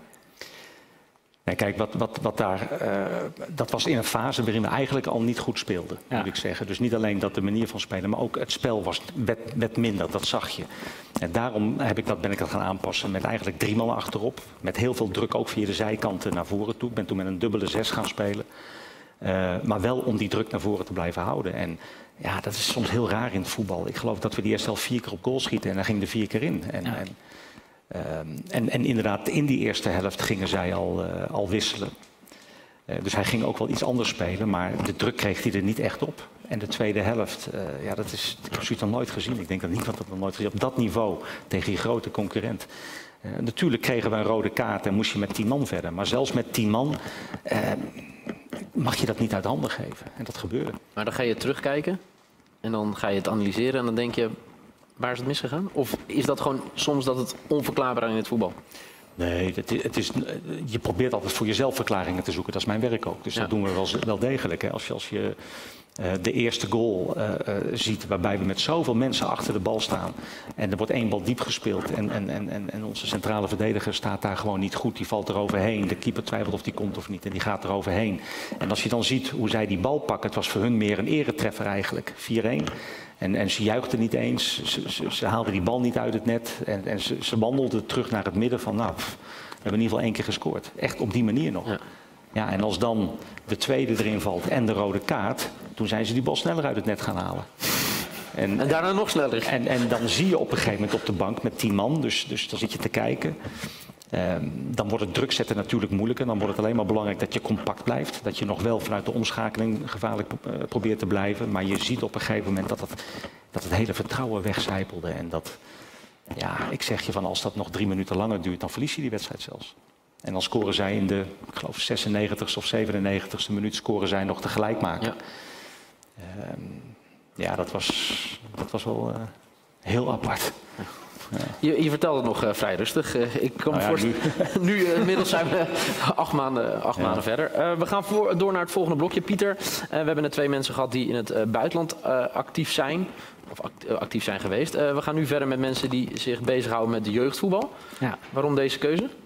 Uh, ik denk uiteindelijk, alles waar we het hier over hebben, dat begint bij de jeugd. Dat begint bij opleiden. Wat Marcel net laat zien, dat fragment met die speler van Stuttgart en die speler van Leverkusen, dat is opleiden, dat is coachen. De ene die bepaald gedrag vertoont en de ander die ander gedrag vertoont. En uiteindelijk zijn dat de jeugdtrainers en ook vooral denk ik de jonge jeugdtrainers die dat uh, moeten gaan doen, die dat moeten gaan vertalen iedere dag naar het veld. Uh, nee, en die zitten straks aan tafel. Okay. Die, die, mag je nog wel zelf voor gaan stellen. Je had net een fantastische uh, voorstelling van onze gast. Of wil je ja. ze zelf voorstellen? Ja, ik kan ze ook één voor één kan ik ja, ze nou, voorstellen als je hartstikke mooi. Wil. Ja.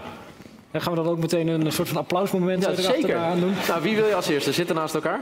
Uh, nou, laten we het op het rijtje volgen. Hè. Dan beginnen we met uh, Willem Wijs. Nou, ja, Willem heeft uh, gewerkt bij PSV in de jeugd eerst. Daarna heeft hij bij Ajax in de jeugd gewerkt. Uh, heeft op een gegeven moment ook nog bijna op het punt gestaan om naar uh, Liverpool te gaan, om daar uh, in de jeugd te werken. Is uiteindelijk bij Ajax rond de fluwele revolutie, toen dat een beetje misging. en hij zat in het verkeerde kamp. Ja, dat is ook de voetballerij. Dan krijg je in één keer niet zo'n mooie baan meer bij Ajax. En dan moet je in één keer, ja, heb je geen eigen elftal meer. En nu is hij naar NAC gegaan. En hij is afgelopen seizoen met NAC onder 19.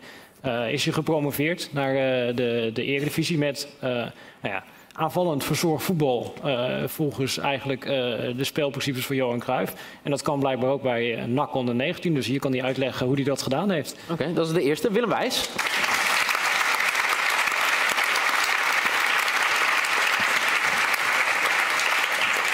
Ja, je doet het veel beter, Pieter, dus uh, pak de volgende. Ja, ik heb ermee wat te pakken. Hè? ja, dan gaan we door met uh, Bastiaan uh. En ik ken Bastiaan nog vanuit de periode dat hij bij PSV zat, waar hij de, de onderbouw dat hij, coördineerde. en wat hij daar vooral gedaan heeft, is dat bij PSV eigenlijk vanuit onderbouw daar stroomde geen enkele speler door. En niet alleen stroomde er eigenlijk geen enkele speler door vanuit de onderbouw naar het eerste elftal. Maar het was ook nog zo dat de spelers die dan uh, onderweg afvielen, dat die vaak met uh, daadwerkelijk psychische klachten kwamen te zitten. Dat die naar een psycholoog moesten omdat ze daadwerkelijk een traumatische ervaring hadden overgehouden uh, aan het voetbalspel.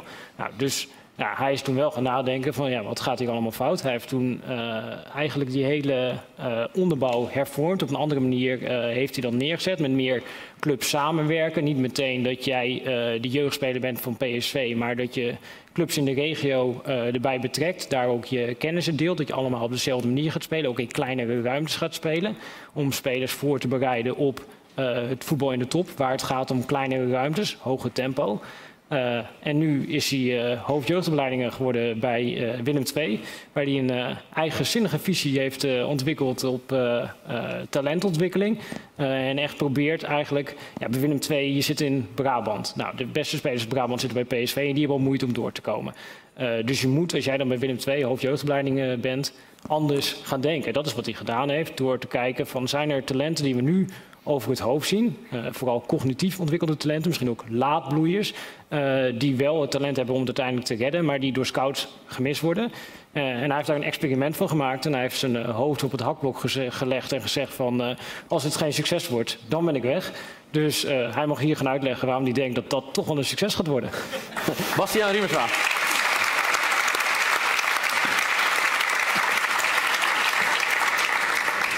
En de laatste? Dan zijn we met de laatste aanbeland. Dat is uh, Laura Jonker. Uh, en waarom ik Laura heb uitgenodigd is vooral uh, omdat het vaak gaat over het uh, rapport Winnaars van Morgen. En ik heb me altijd een beetje afgevraagd bij het rapport Winnaars van Morgen van wie heeft dat nou bedacht? Uh, en waarom is daar niet uh, over nagedacht eigenlijk? Waarom staan er gewoon dingen in die gewoon feitelijk aantoonbaar onjuist zijn? Waarom staan er van die dingen in over harde trainen waar we het over gehad hebben? Waarom staan er dingen in als winnaarsmentaliteit, een hol containerbegrip, waar helemaal geen definitie voor gegeven wordt, maar wat in één keer wel aangewezen wordt als probleem waar Nederlands voetbal blijkbaar in één keer mee te kampen heeft. Terwijl we daarvoor nog wel winnaarsmentaliteit hadden. Dus hoe dat nou in één keer kan verdwijnen en dat je daar dan een rapport over kan schrijven is heel wonderlijk. Uh, en ja, bijvoorbeeld ook in dat hele rapport staat met geen woord gerept over aanvallen of techniek of creatieve spelers. Nou, we hebben net gehoord, uh, Arjen Robben was eigenlijk de laatste echt creatieve topspeler die wij gehad hebben. Er is geen opvolger voor. Misschien zouden we daar uh, iets aan moeten doen in ons jeugdvoetbal. En dan schrijf je een rapport over beter verdedigen. Terwijl als je het feitelijk gaat analyseren, dan zie je dat nu in de Europese topcompetities dat er meer Nederlandse verdedigers dan ooit actief zijn. En minder Nederlandse aanvallers dan ooit. En dan schrijf je een rapport uh, waarin het tegendeel beweerd wordt. Nou, ik heb dit eigenlijk al toen dit rapport gepubliceerd werd, heb ik daar regelmatig uh, over geschreven. En op een gegeven moment was er iemand van de KNVB die wilde daar met mij over praten. Nou, dat was Laura Jonker. En ik schreef altijd dat dat voor mij voelde als een soort van beleidsalchemie. Dus er was een beleid was er bedacht. En daarna moest iemand anders daar argumenten voor bij verzinnen. En wij zaten op een gegeven moment aan een tafeltje en toen zei ze tegen mij van... Ja, ik las dat en ik dacht, ja, dit is precies hoe het is. En zij was degene die de argumenten moest verzinnen bij... Uh, de, de, speerpunten die bedacht waren door hele wijze ex-voetballers. Dus ik dacht, het is hartstikke leuk als zij hier wat uh, kan vertellen. Ze is nu weg bij de KNVB over... Uh, nou, dit is wel de echte allerbeste introductie die je Laura Jonker kan geven. Laura Jonker.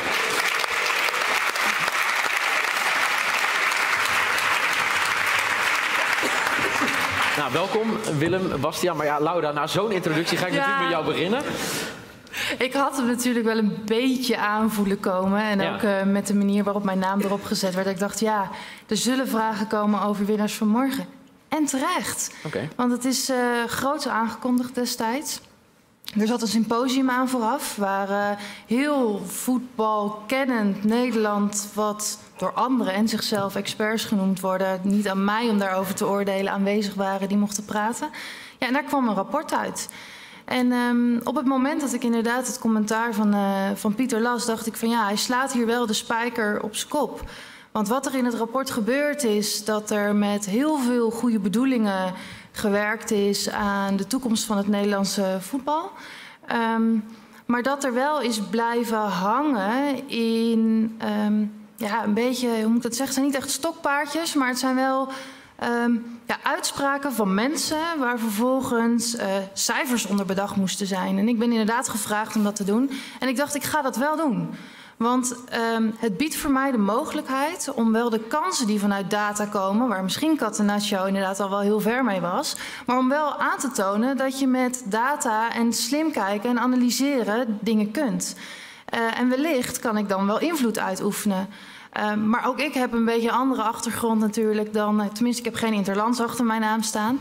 Dus het is ook niet zo als ik iets ging roepen... bijvoorbeeld, jongens, ga uit van onze eigen kracht. Hè, zorg dat je een soort van basisniveau hebt. Uh, kijk naar het buitenland waar dat ligt op basis van cijfers... En ga dan kijken naar wat het voetbal van morgen zou moeten betekenen. En koppel dat aan je Nederlandse identiteit. Dat iedereen natuurlijk naar mij gaat luisteren. Dat blijkt ook uit deze introductie. Dat dat natuurlijk een illusie is. Ja. Um, Dus we hebben daarin wel geprobeerd een eerste slag te maken. En waar ik wel trots op ben geweest, is dat het de, het eerste moment was uh, binnen een sportbond waarin het niet alleen maar gillen op onderbuikgevoel is geweest, maar dat er ook echt wel stukken in het rapport zijn die onderbouwd zijn met cijfers. En ook met uh, de winning mindset slaat Pieter ook de spijker op zijn kop. Want dat was voor mij persoonlijk ook een stukje waar ik het meeste moeite mee had. Maar het staat uiteindelijk wel in het rapport. Ja, uiteraard. Omdat je. Uh, het is ook een, een, samenspel van de meningen van een heel aantal mensen en de visie van een heel aantal experts. Waarin je ook arrogant bent als je zegt: ik kan alleen op feiten en cijfers dingen doen. En in alle eerlijkheid, als het gaat over de winning mindset. Ik heb zelf een achtergrond in onderzoek naar, naar die spelintelligentie. En dan eigenlijk twee vormen intelligentie. Dus meer de decision making, wat je op het veld doet, maar ook hoe kan je efficiënter leren. Dus niet harder trainen of meer leren, maar in dezelfde tijd slimmer leren. Dacht ik, ik ben al super blij dat in een sport als voetbal, waarbij dit soort thematieken soms ook als zweverig worden beschouwd dat er überhaupt aandacht is voor die intelligentie en dat cognitieve training. Het is ook een opening om er verder over in gesprek te gaan. Ja, en dat ik dan vanuit mijn achtergrond weet dat op het moment dat je wil winnen, dat je juist moet focussen op je taak en niet op winnen, omdat je dan alleen maar fouten gaat maken. Dat nam ik op dat moment even voor lief. Ja. Uh, de, alle mensen die hier uh, spreken vanavond, waren jullie aanwezig? Ik was niet aanwezig, nee. Geen uitnodiging. Peter wel? Pieter? Niet aanwezig. Marcel? Nee, het Wiegers ook niet. Nou, dat is uh, helemaal geen slechte score, toch? Nee, zeker Eén niet. van de zeven. Nou, oké, heel goed. Uh, als we kijken naar uh, winnaars van morgen voor jullie. dagelijks actief met ja, de winnaars van morgen. de toekomstige topspelers. Hoeveel gebruiken jullie daadwerkelijk uit het rapport? Nu of? Ja? Nu niet zoveel. Ik, nee, ik heb dat rapport naast me neergelegd. Ik, ik heb het wel gelezen. Maar ik heb de afgelopen jaren zelf uh, voornamelijk dingen uh, onderzocht om te kijken hoe we dingen beter konden doen. Dus ik ben wel in het buitenland geweest, bij veel clubs, veel mensen gesproken. Om uiteindelijk te kijken, oké, wat is de positie in het voetballandschap en wat heb je dan nodig en welke mensen heb je daarbij bij nodig. En zo ben ik dat uit gaan werken. Ja. Michiel de Hoog van de, de correspondent schreef over jou. Deze jeugdopleider kijkt radicaal anders naar voetbaltalent.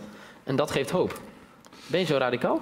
Nou, ik denk dat het wel meevalt. Ik, ik, wat ik gedaan heb is gewoon uh, is gaan twijfelen. Gewoon over in het voetbal waar een aantal dogma's natuurlijk uh, uh, duidelijk zijn. Heb ik, ja, ben ik dat gewoon in twijfel gaan trekken. Omdat ik natuurlijk zag bij PSV, waar ik elf jaar gewerkt heb, dat het rendement gewoon laag was. En veel jongens zien komen, veel jongens zien gaan.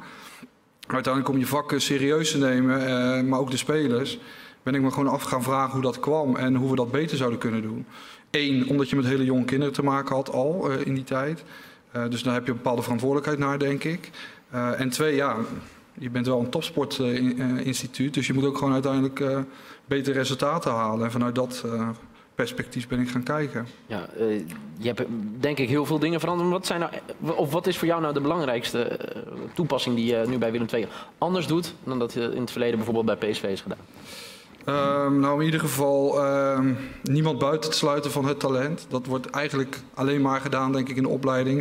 Het is voornamelijk talentidentificatie. Uh, dus we zetten heel snel vanuit de overtuiging de beste met de beste tegen de beste. Nou, dan moet je al een discussie voeren. Wat is de beste? En zeker in het jeugdvoetbal is het fysieke aspect natuurlijk enorm bepalend op een heel groot veld waar ook de Champions League finale op gespeeld wordt. Waar je dan met, soms met 12-jarigen al op gaat spelen. Het fysieke aspect, wat eh, wat ik net zei, is daar natuurlijk enorm bepalend in. In hoe we naar talent kijken. Dat zie je natuurlijk ook in de geboortedata uh, van, van, al die spelers bij al die jeugdopleidingen actief zijn. Um, ja, en, en, en dat ben ik gewoon in twijfel gaan trekken. En uh, zegt, oké, okay, we moeten gewoon tot een bepaalde leeftijd. Hè, langzaam groeiende bomen kunnen ook de hoogste worden. Gewoon geen talent meer uitsluiten. Als ik met de mensen in Duitsland gesproken, maar ook in Spanje... Um, zie je dat ze dat eigenlijk, maar ook in IJsland, unaniem zeggen, is dat je tot een bepaalde leeftijd gewoon geen voorspelling moet doen over wie het gaat halen en wie het niet gaat halen. En dat is natuurlijk wel wat we doen. Dat is ook het systeem waar we in zitten. We willen allemaal competities, eigenlijk vanaf onder negen al met de beste tegen elkaar te laten spelen. Nou, wat krijg je dan? Uh, is dat natuurlijk bepaald. Ja, we, we, hebben, we concurreren met elkaar, dus we willen ook van elkaar winnen. We zetten het allemaal breed op, op Twitter en Facebook om ook kinderen over te halen om naar jou toe te komen. Uh, en dan krijg je dus een systeem waarin trainers ook zichzelf willen profileren. Ja, en dan krijg je dat je op, onder negen leeftijd al de fysiek sterke spelers bij elkaar gaat zetten. Dat je alles loslaat. Maakt niet uit hoe er gespeeld wordt, als er maar gewonnen wordt. Ja, dan krijg je natuurlijk een een, bepaald systeem waarin heel veel kinderen geen kansen meer krijgen. En ook de kinderen die misschien op latere leeftijd blijken wel heel veel talenten hebben. Ja, maar tot welke leeftijd eh, ja, kijken jullie niet naar talent? Ik denk dat je dat pas vanaf 16 jaar moet, uh, serieus moet gaan. Uh, hè, dus de, de, beste bij elkaar gaan zetten. En uh, dat je het echt hebt over. Nu begint het topsporttraject, vier jaar lang. Tot, tot ze de stap kunnen maken naar het eerste elftal. Ja. En tot die tijd zou ik zeggen. sluit geen enkel kind uit van goede training. En dan heb ik het niet over de jongens die op, op voetbal gezet zijn. En omdat papa dat graag wil. Maar dan heb ik het over de jongens die ja, iets meer gemotiveerd zijn om, uh, om Maar hoe maak jij nu bijvoorbeeld de keuzes als hoofdjeugdopleiding uh, wie bijvoorbeeld in de onder 13 terechtkomen als je niet kijkt naar talent? Nou goed, we hebben nu gezegd dat we de onderbouw eraf halen. Zodat we eigenlijk, uh, en ik heb de scouts en eigenlijk iedereen binnen Willem II de beperking opgelegd dat we niemand meer van buiten de regio halen. Dus dat betekent dat we heel nauwkeurig moeten gaan kijken binnen onze eigen regio. Dus je moet al anders gaan kijken, want ja, als we deden zoals we deden, ja, dan, dan gaan we helemaal niet meer vooruitkomen. Dus een aantal beperkingen. En uh, ja, wat is nou een typisch Willem II speler en hoe gaan we die herkennen? Uh, maar eigenlijk wil ik, het liefste zou ik de onder 13 onder 15 ook af willen halen. En tot die tijd zoveel mogelijk kinderen beïnvloeden. En dan op die leeftijd ongeveer gaan hè, met, met spelers uh, in, in, in gesprek gaan van wil jij dit eigenlijk wel? En ben jij bereid om de komende vijf jaar volledig voor topsport te gaan? Je, je, zei zelf net, ik ben niet heel radicaal. Dit klinkt vrij radicaal, moet ik zeggen. Toch? Dat je... Ja, gewoon zoals het systeem natuurlijk. Ik denk dat heel veel trainers het ook wel uh, daarmee eens zijn. Ja. Ik heb bij PSV natuurlijk geprobeerd om te zeggen... laten we nou stoppen om te concurreren over de rug van kinderen van acht jaar... die we overhalen met voetbalschoenen en met busjes van kom naar ons. Laten we dat nou gewoon niet doen. Laten we nou met z'n allen uh, al het, uh, de, de, de, kennis die er is van al die jeugdtrainers. Van, laten we nou zoveel mogelijk kinderen beïnvloeden. Laat iemand in Breda gewoon uh, bij NAC spelen. En laat iemand in Helmond gewoon bij Helmond Sport spelen. En laten we die krachten bundelen. En zoveel mogelijk kinderen beïnvloeden. Maar dat blijkt in de praktijk gewoon niet te doen. Samenwerken, zelfs op jeugdgebied, niet te doen in Nederland. Alle samenwerkingen zijn volgens mij ook gestrand. en vaak is dat iedereen toch aan zijn eigen belang denkt. De, de concurrentie is zo groot in, dat, in het systeem in Nederland dat dat gewoon uh, onmogelijk is. Willem, de concurrent van Willem II, daar werk jij bij NAC. Geloof jij hierin, in zijn zienswijze? Uh, vooral heel erg eens met, uh, met dat eigenlijk de clubs de verantwoordelijkheid moeten pakken, vind ik, om, uh, om niet alleen zeg maar, voor zichzelf puur op te leiden, maar om gewoon kinderen in algemene zin te ontwikkelen. En inderdaad daardoor eigenlijk niemand te buitensluiten, iedereen een kans te geven om, ze, om gewoon kennis te maken met goede trainingen. Um, en ook heel erg eens vooral met het gedeelte wat gaat over samenwerking. Dus ik mis heel erg het gemeenschappelijke belang. Uh, en misschien ook, ja, wel een beetje het nationale belang om, om spelers op te leiden in plaats van het echte clubbelang. En natuurlijk, hè, iedere club heeft ook zijn eigen belang. En uh, misschien wordt een hoofdopleiding of de jeugdtrainer ook wel afgerekend op wat er uiteindelijk doorkomt in het eerste elftal. Maar uiteindelijk is het allergrootste belang, ook eigenlijk waarom we hier met z'n allen zitten, denk ik, is gewoon discussie gaan krijgen over hoe we eigenlijk moeten opleiden en, en hoe we graag willen voetballen. En dat geldt voor de jonge spelers hetzelfde. Dus hoe kunnen we zoveel mogelijk jonge spelers uh, gaan beïnvloeden zodat ze beter worden, zodat gewoon de hele staat van Nederlands voetbal weer uh, ja, beter wordt. En uh, ja, die verantwoordelijkheid die mis je wel een beetje inderdaad, omdat het gewoon vooral ieder voor zich is. Ja, hoe, hoe lastig is het uh, om uh, jouw visie over te brengen? Je hebt bij twee topclubs gewerkt, Ajax en PSV. En nu werk je bij een club als NAC. Daar uh, zitten ook redelijk goede voetballers, maar er zit niet de top van Nederland. Zeker niet, nee. Uh, nee, maar is niet moeilijk. Ik hoop niet dat hier nu een speler zit. Uh. Nee, die zijn er niet. Had ik het wel gehoord. We kijken wel live mee trouwens, hè? Ja, dat zou kunnen. Heel graag. Um, nee, maar kijk, dat, dat, is geen geheim, denk ik. Dat de spelers van PSV en Ajax beter zijn dan de jeugdspelers ja. van NAC. Uh, nee, maar dat is niet moeilijk. Uh, dat vind ik ook een beetje zo'n misverstand.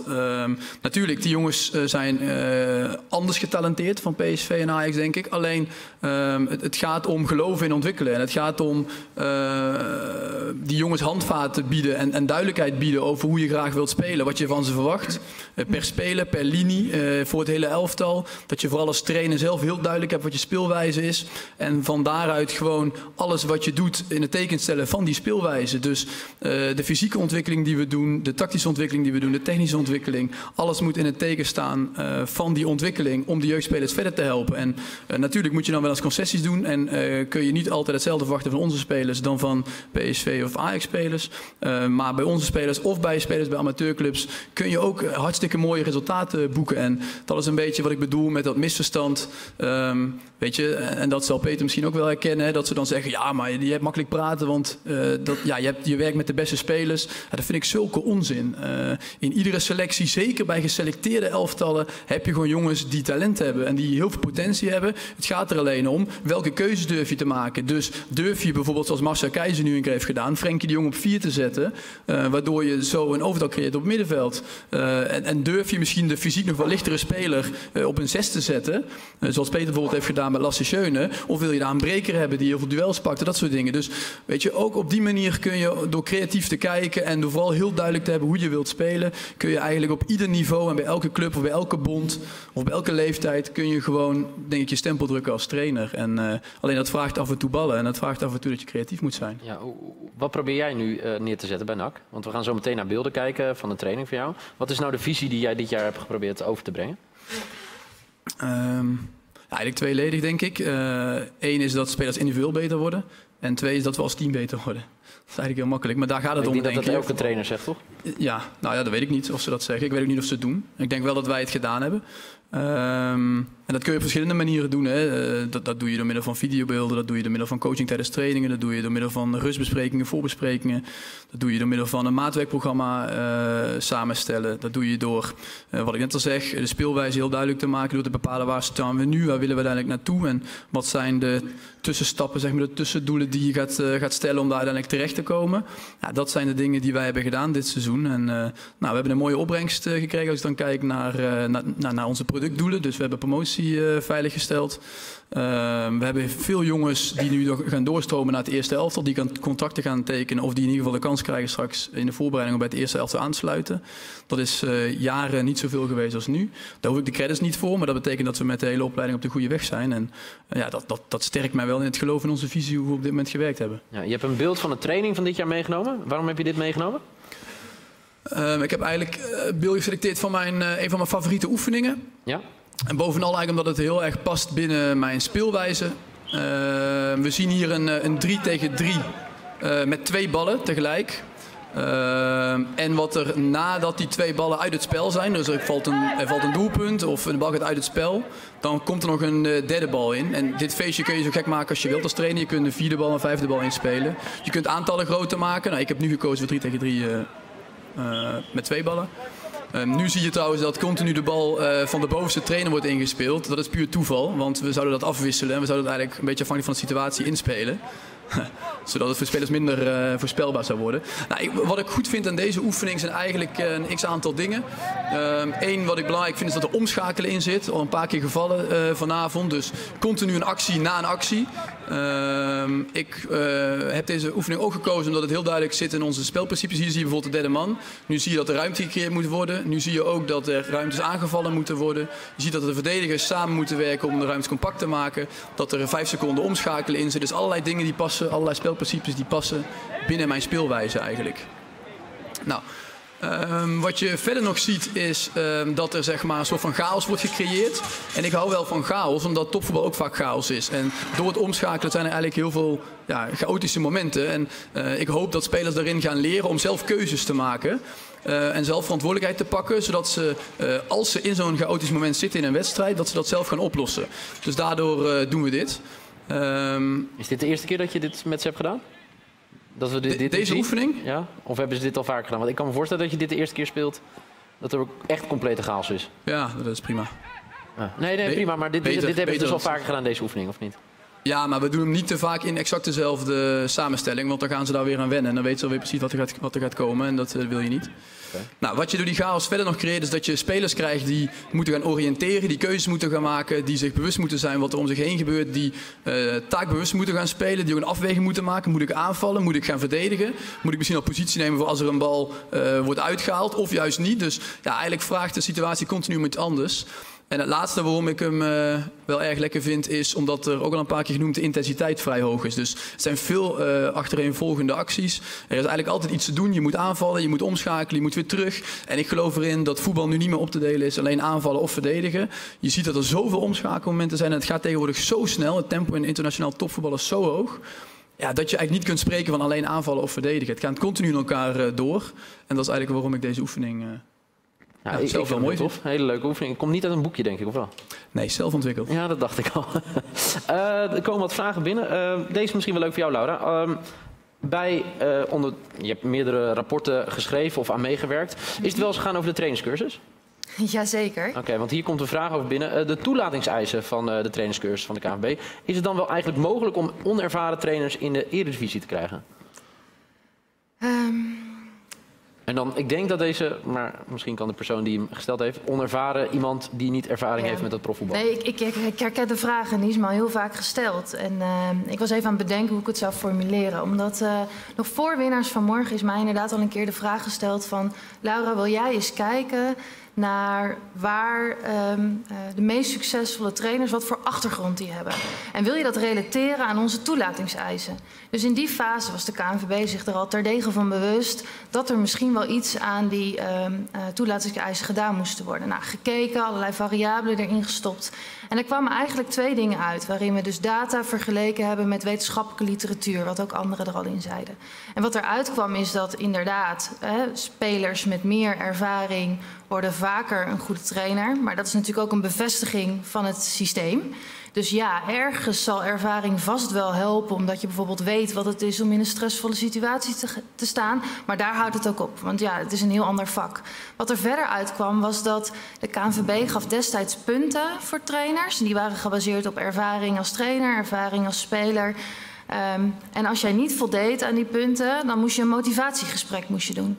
En wat kwam uit die analyse? Dat juist die trainers die in die bandbreedte kwamen van... joh, je bent eigenlijk net niet goed genoeg om toegelaten te worden... maar motiveer het maar eens. Dat dat uiteindelijk hele succesvolle trainers werden. Dus ik ben toen al met een papiertje ben ik naar collega's gelopen... en ik heb gezegd, kijk, we moeten iets met die motivatie van die trainers... Nou, vervolgens ben ik ben inmiddels weg bij de KNVB en de toelatingseisen zijn aangepast op het moment dat ik wegga. Dus ik moet eerlijk bekennen dat ik niet helemaal in de details zit. Maar ik heb uiteraard wel meegekregen wat er in de media is geroepen. Ja. Er zijn wat aanpassingen gedaan. En als je mijn persoonlijke visie vraagt, mag je dat nog veel verder doorvoeren. Het kan niet zo zijn dat omdat jij veel interlands hebt, dat jij een hele goede trainer bent. Dat klopt niet, dat is niet waar. Dus in mijn persoonlijke perceptie zou ik zeggen, ja, als veel minder ervaren trainer eh, zou het mogelijk moeten zijn om eh, trainer te zijn in de eredivisie. En dat raakt ook een beetje aan het fragment wat ik bij jou heb ingebracht. Kijk, en dat bruggetje. zal je helpen. Dankjewel. Ehm, omdat het daarbij aansluit. Ja, want we gaan kijken naar de technisch directeur van Schalke 04. Ja. Herr Christian Heidel. Heidel. Ja. Und Ich habe mir selber so ein, so, so ein Bild gemacht eines optimalen Trainers, ähm, dann so als eine Art Pyramide und unten das Breiteste ist das Wichtigste. Und da steht bei mir jetzt nicht Erfahrung, da steht bei mir Intelligenz, weil ich glaube, dass die Intelligenz die Basis für allem ist, auch für einen Trainer. Dann kommt Fachwissen, ähm, dann kommt soziale Kompetenz, wie ist der Auftritt mit den, mit, mit, mit den Spielern. So, und dann kommen Dinge wie Ausstrahlung, Dominanz, Rhetorik und dann kommt bei mir erst Erfahrung.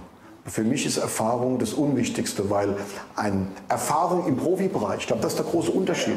Ich habe irgendwann festgestellt, dass die jungen Trainer, die im Nachwuchsleistungsbereich, der in Deutschland einfach top ist, arbeiten, viel mehr Erfahrung haben wie ein Fußballer, der 300 Bundesligaspiele hat, ein Jahr Co-Trainer war und die Trainerausbildung macht. Und Ja, het gaat dus eh, eigenlijk over het punt wat je net eh, beschrijft. Eh, hij gaat zelfs eigenlijk nog veel verder. Ja, nou, ik, ik, ik sta zelf niet op het veld en ik zag dit en ik dacht, hè hè. En niet omdat dit Duitsland is wat nu succesvol is. En hij komt daar natuurlijk omdat het een succesvol verhaal is. Maar het enige wat ik dacht is, als jij het voetbal analyseert... dan zie je dat het sneller gegaan is. Dan zie je ehm, dat je dan dus ook snellere keuzes moet maken. Maar als trainer ben jij daar eigenlijk alleen maar om de omgeving te creëren... waarin spelers kunnen ontwikkelen en floreren. En dat kun je op twee manieren doen in mijn, eh, eh, in mijn optiek. En hij raakt ze allebei.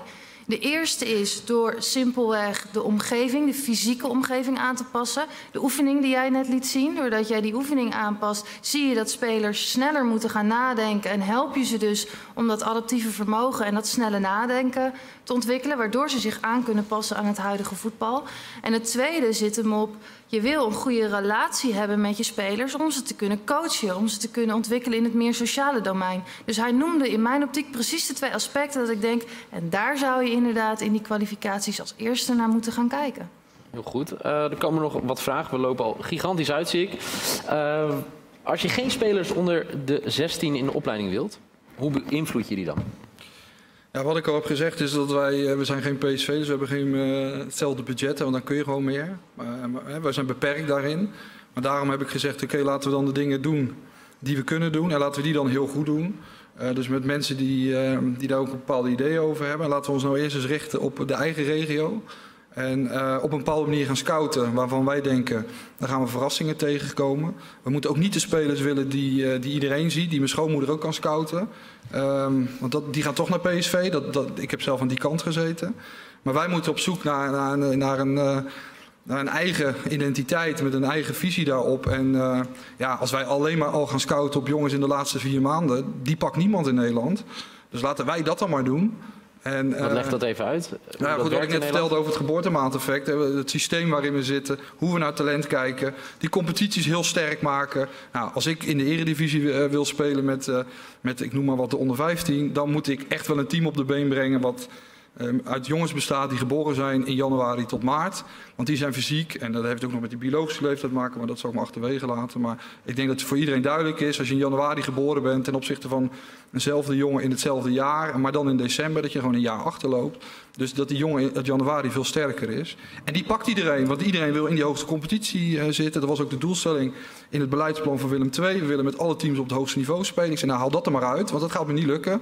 Als ik met een team kom met allemaal jongens uit eh, november, december. Eh, maar daar ligt natuurlijk een enorme markt voor ons. om spelers op te leiden. Dus ik ben niet zo bang dat, dat die clubs al heel snel bij ons komen shoppen. Want die willen ze toch niet hebben. Nee. Vrij, vrij radicaal hoor, wat hij zegt. Ja, vrij radicaal. Eh, nog een radicale vraag ook dan voor een radicaal persoon. Had een jonge Pieter Zwart bij Bastian in de opleiding gemogen? Nou ja, goed, als je puur kijkt naar de trainers die... die eh, want ik, Voor mij een hele intelli- intelligente voetballer. Nou, dat zijn voor mij eh, twee, eh, twee stelregels. Eh, je bedoelt als speler of als Ja, als trainer? speler. Als speler, ja goed. Ik denk dat eh, intelligentie niet het enige. Ik weet niet hoe eh, motorisch eh, Pieter is. eh. Nou, Pieter, we hebben een bal. laat maar eens even zien.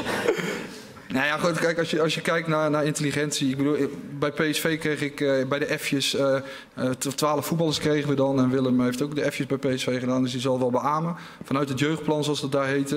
En het waren elf of twaalf dribbelaartjes. En daar moesten we een linksbuiten van maken en een rechtsback. En alles wat ertussen zat, nou, die- stromen uiteindelijk allemaal uit. Want ik denk dat je in dit voetbal natuurlijk heel specifieke posities hebt.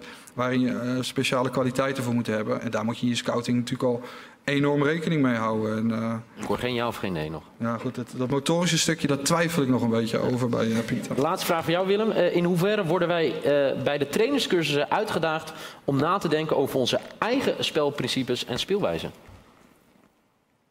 Ehm, er ligt een Je, beetje... je moet er nog één, toch? Eén. Ja, ik moet even opletten wat ik nu even zeg. heel, heel, Ehm, nou, ik, ik, vind het een beetje moeilijk om het te beantwoorden, omdat het eh, afhankelijk is ook wel van wie je leercoach is. Ehm, ik had eh, Gert aan de wiel en eh, nou, die, die heeft me ook best wel vrijgelaten. En, of in die zin, die heeft best wel wat ruimte ook gegeven om jezelf persoonlijk te ontwikkelen. En heeft best wel gekeken ook hoe die persoonlijk een, zeg maar een plan kon, ja, zeg maar, kon samenstellen voor je, door de juiste vragen te stellen.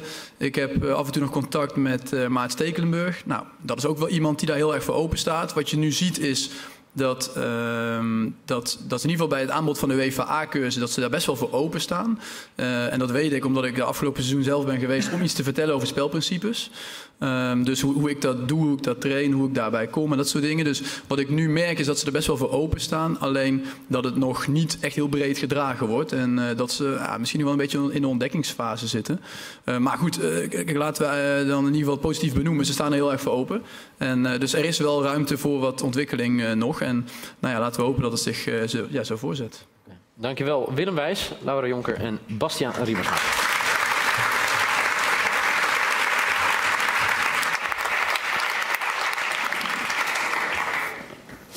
Ja, we gaan eh, bijna afsluiten. Eh, er was nog een eh, vraag voor jou, Peter. Misschien al gedaan in het verleden, maar dat weet ik niet zeker. Is het iets voor jou om bij je volgende club een, een laptoptrainer mee te nemen? In je technische staf? Op een andere manier doorgedrongen is tot de top van het voetbal? nou, dat is niet iets waar ik nu op dit moment zo, zo aan denk. Maar wij, maar wij krijgen ook allemaal een laptop hoor, bij de clubs waar wij werken. En alleen Hendry niet. Maar dat is nog echt een ouderwetse praktijk, jongen. Ja, nee, maar ik hou er niet zo van om trainers echt in een hoekje uh, te stoppen. Um, maar het is wel interessant om naar de ontwikkelingen die nog steeds in het voetbal natuurlijk gaande zijn, om die te volgen. En dat probeer ik ook zoveel mogelijk te doen. En uh, er werd net mij wat vragen gesteld voordat we hier uh, begonnen. En toen zei iemand van, waar zie jij Pieter over tien jaar? En toen zei ik, misschien een beetje gekscherend, maar ook al met een serieuze ondertoon, in mijn staf. Omdat ehm, ik geloof namelijk wel dat, dat het analyseren van de tegenstander, dat dat ook iets, iets Um, en met name de, de, spelprincipes bij die tegenstander. Dat dat iets heel interessants is. Waar ik denk dat je nog heel veel voordeel uit kan halen. En dat weet hij waarschijnlijk niet. Maar um, toen wij met Ajax in die cyclus zaten met, van de Europa League. kwam altijd uh, op de dag dat wij de wedstrijd hadden. kwam jouw verhaal over de tegenstander uit. Klopt, ja. En, de analyse. De analyse. En um, wij hadden, en dat is werkelijk hoor. Tony Bruinslot is fantastisch. En maar dan moet ik eerlijk zeggen, als we dan lagen te slapen, tenminste jongens moesten dan slapen, zat ik toch altijd eventjes open, ik hem op de dag. En dan ging ik altijd hem helemaal doorlezen. En het is echt verbijsterend hoe, hoe, hoe nauwkeurig dat was. En dat klopte. En Tony is goed. En dat was echt, uh, dat klopte. Dus uh, ja, daar geloof Als ik wel. Als ik het zo hoor, gaat het geen tien jaar duren. Nou, ik denk ook niet dat ik nog tien jaar trainer ben, eerlijk gezegd. Nee, zo lang zal ik het niet meer volhouden. Dit is de, niet de eerste keer dat je zoiets hoort. Voor mij, als ik het goed heb, maar dat weet jij beter. Uh, 2014, het Nederlands elftal. Ja. De analyses van de tegenstanders op het WK. Ja, die werden toen ook uh, gebruikt door de staf van Louis van Gaal. En die hadden zoiets van, ja, we zien inderdaad op de dag van de wedstrijd komen. Maar het is een beetje laat om nog iets naar de spelers uh, te brengen. Dus op een gegeven moment kwam iemand uit die staf die benaderde ons van... hebben jullie die dingen eigenlijk eerder af? Nou ja, natuurlijk... wij plannen ook. Dus, dus hoeveel uh, procent is het uh, succes van Nederland zelf te danken aan Catenaccio in 2010? Ja, dat, dat, dat, ik denk uh, 0 procent. Dat kun je niet zeggen. Maar het is natuurlijk wel een vorm van waardering. Ja. dat dat op die manier op waarde geschat wordt. Dus dat is mooi. Uh, ja, en ik denk ook vooral dat het interessant is om dat naar een groot publiek uh, te blijven brengen. Dus dat ook iedereen die voor de tv zit, dat die kan begrijpen... oké, Manchester United probeert deze finale op deze manier te spelen. Ajax probeert op deze manier te spelen. Hoe gaat dat zich tegenover elkaar ontwikkelen? Uh, en nou ja, als iedereen, iedere coach gewoon een abonnement neemt op VE Pro... dan lezen ze op de dag van de wedstrijd lezen ze daar de analyse. En dan gaat het helemaal goed komen met het Nederlands voetbal. En misschien kunnen we dan ook al wat eerder in de week die analyses al plaatsen. Gewoon om, om een beetje te helpen. Ja, ja. Heel goed. Uh, goed. Uh, goed verkoopraadje, Pieter.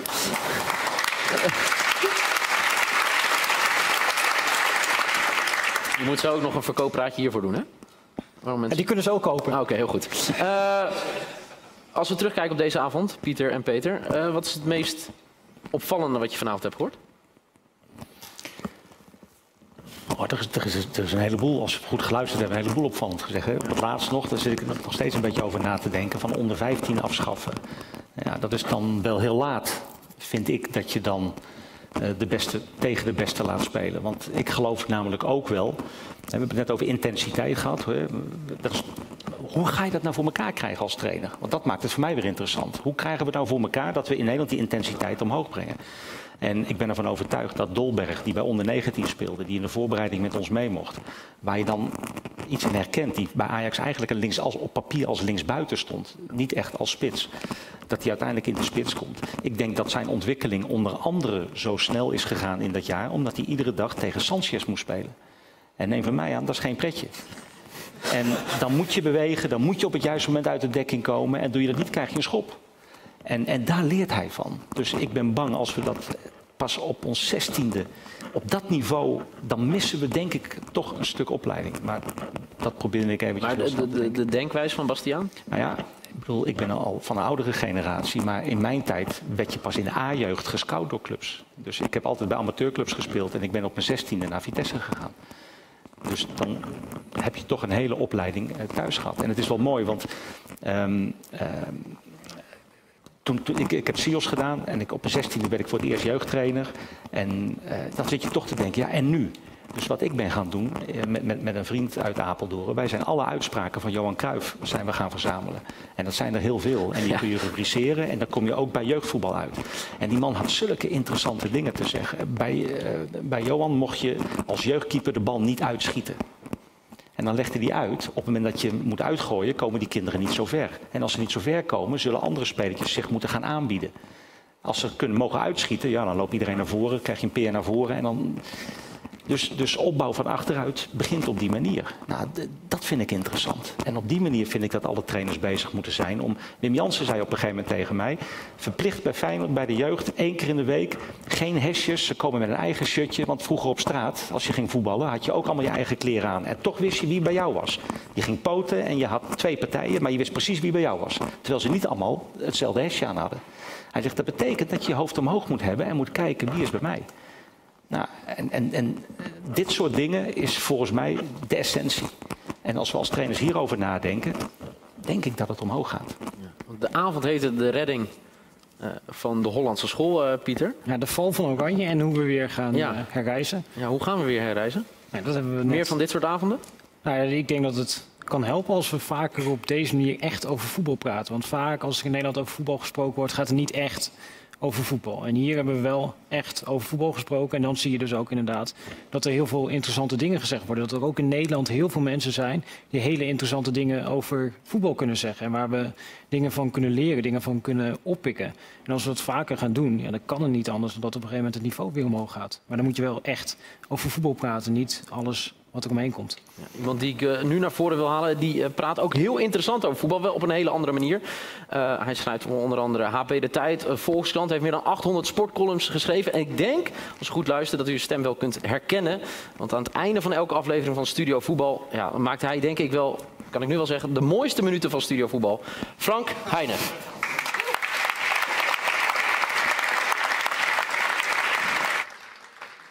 Goedenavond.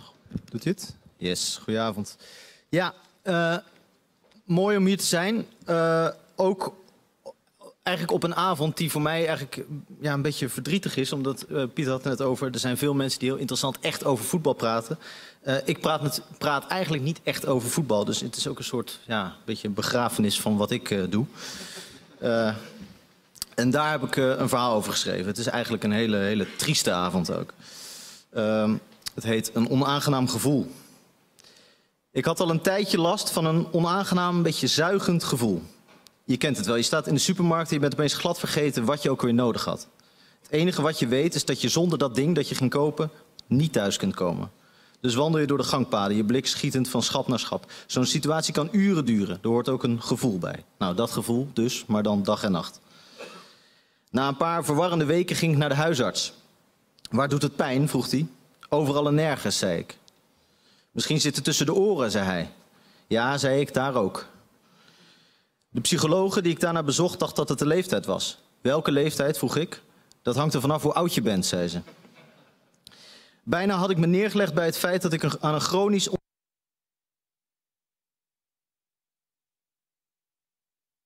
Die vriend luisterde, knikte en vroeg tenslotte: Mag ik heel eerlijk tegen je zijn? Zo'n vraag is meestal de aanloop tot een allesverschroeiende, vriendschapsvernietigende belediging. Dus ik zei ja, graag. Je gaat het niet leuk vinden. Kom erop. De vriend slikte, nam een hand borrelnootjes, viste de wasabi's eruit, legde die terug in het bakje, spoelde de rest weg met een slok bier, slikte nog eens, bestelde een nieuw rondje, checkte zijn Facebook, ging plassen, belde even kort met zijn makelaar, kwam terug, nam weer plaats, keek me doordringend aan, zweeg even en zei toen: Ik denk dat je een Pieter Zwart probleem hebt. Minder dan twee weken later wandelde ik ochtends vroeg de hal van een reusachtig kantoorpand binnen. De hal was zoals alle handen van alle kantoorpanden. Bedoeld om bezoekers eraan te herinneren dat zij het zo slecht nog niet getroffen hebben. Er stonden enkele zwarte fauteuils en een bank van zwart leer. Aan de muren hingen geen kunstwerken, maar stilgezette voetbalbeelden. En boven de lift hing een ingelijste foto van Jack van Gelder. Met daarnaast in krulletters op de muur de spreuk... Jongens, laten we het over voetbal hebben. Kan ik u helpen? vroeg een aanstootgevend mooie receptioniste. Ze had een tatoeage op de binnenkant van haar arm. Ik heb een afspraak, zei ik, met meneer Pieter Zwart. Ze keek me onderzoekend aan. Ik voelde hoe ik razendsnel door haar enge mannenscanner werd gehaald. En daarna zei ze, dat lijkt me sterk. Ik knikte, ik wist ervan. Uh, ik kwam ook wel eens op internet. Ik wist hoe belangrijk Pieter Zwart was. Ik wist dat de invloed van Pieter Zwart in het hedendaagse voetbal nog nauwelijks te onderschatten viel. Zijn artikelen werden gelezen en besproken tot in de hoogste regionen. Tienduizenden volgers verdrongen zich dagelijks met open mond rond zijn verhalen over spelsystemen vol woorden waar ik nog nooit van had gehoord. Waar, en grafieken waar ik geen touw voor kon vastknopen. En langzaam werd alles data. En ik, had nog, ik kon nog nauwelijks de geboortedatum van mijn eigen vriendin onthouden. Omdat Pieter Zwarts bezielende leiding had het voetbalschrijven zich ontwikkeld tot een exacte wetenschap waar ik met mijn natte vingerwerk al snel niks meer te zoeken zou hebben. En nu zat ik hier, klaar om mezelf te laten omscholen, voor het te laat was. Een bevriende redacteur had een afspraak voor me geregeld. Wat is uw naam? vroeg de receptionist op de toon van iemand die nog even informeert naar het wel en wee van de kakkerlak die hij zo kapot gaat stampen. Ik noemde mijn naam en zag hoe, bleek, hoe ze bleek werd om de neus. Die naam zou ik hier niet te hard noemen, zei ze. U bent toch van Studio Voetbal, van dat slotrubriekje? Ik knikte. U weet hoe het is afgelopen met de vorige romanticus die hier zomaar even binnenliep.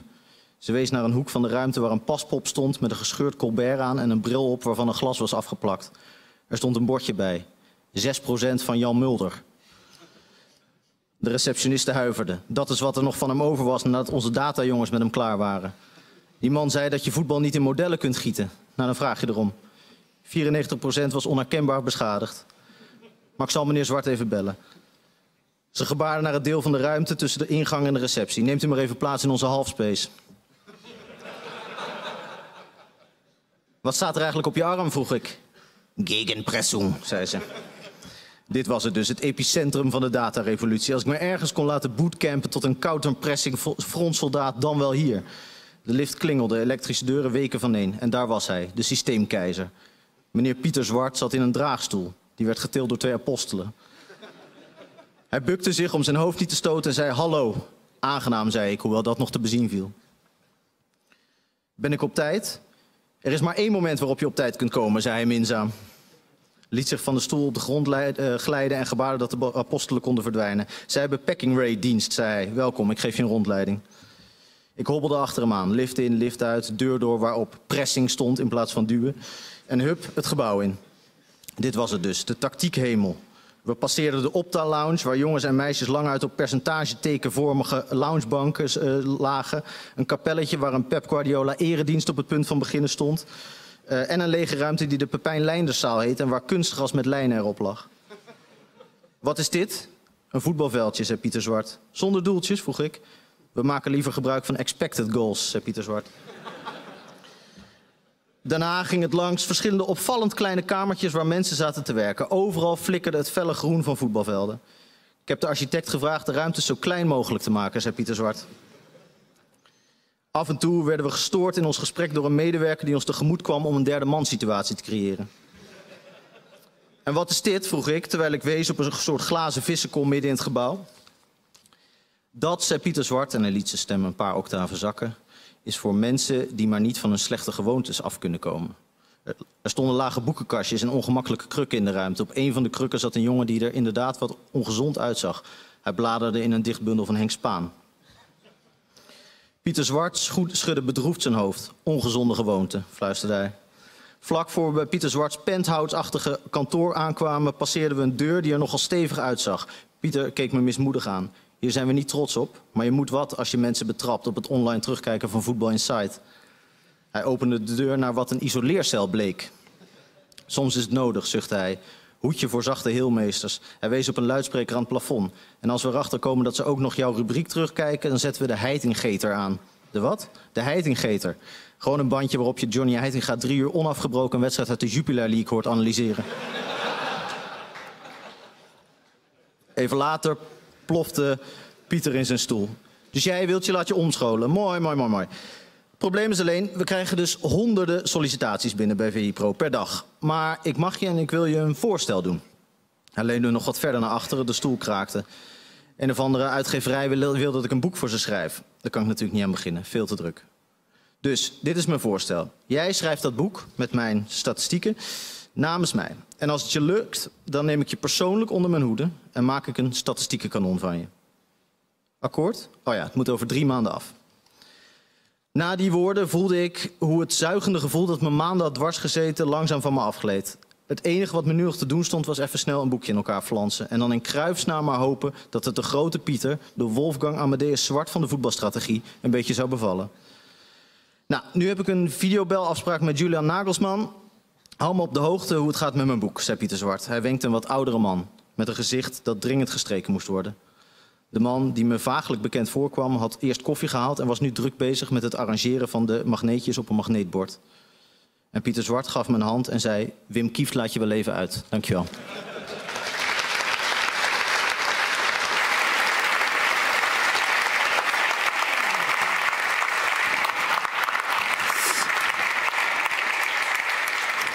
Dankjewel, Frank. Ehm, Wim Kief zit niet in de zaal, toch? Nee, voor mij niet. Uh, we zijn nog wat laatste woorden uh, die ik wil uh, berichten. We hebben sowieso Pieter nog een keer terug hier in de Bali. Samen met Peter Buurman en Jordi Jamali. Jullie gaan wedstrijden analyseren, als ik het goed heb. Of over wedstrijden praten. We gaan gewoon voetbal kijken en voetbal dan zien we wat er van komt verder. Goed, dus als jullie voetbal willen kijken met Pieter, Jordi en Peter... dan zijn jullie van harte welkom. En dat zou dan hier Kijk, dat staat linksboven. 25 juni Marokko, Spanje en 28 juni Engeland, België. En zoals ik al eerder zei, het boek is zometeen te koop. Pieter gaat het signeren. En uh, ik zou, als je toch van plannen bent om te kopen, deze kopen. Want hier staat dus nog steeds de quote op van Wim Kieft. En bij de tweede druk, die er inmiddels is, uh, is die quote er niet meer. Uh, tot slot wil ik uh, de mensen bedanken. Laura Jonker, Bastiaan Riemersma, Willem Wijs, Marcel Lucassen, Hedwiges Maduro.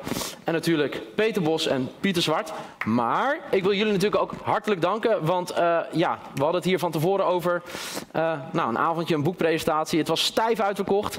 Ik hoorde van de organisatie, gingen zelfs kaart op Ticketswap. Dus voor een eerste inhoudelijke avond over voetbal is voor mij deze zeer geslaagd. En wil ik jullie uitnodigen om aan de bar verder te praten over ja, de mooiste bijzaak in het leven, voetbal. Dank jullie wel.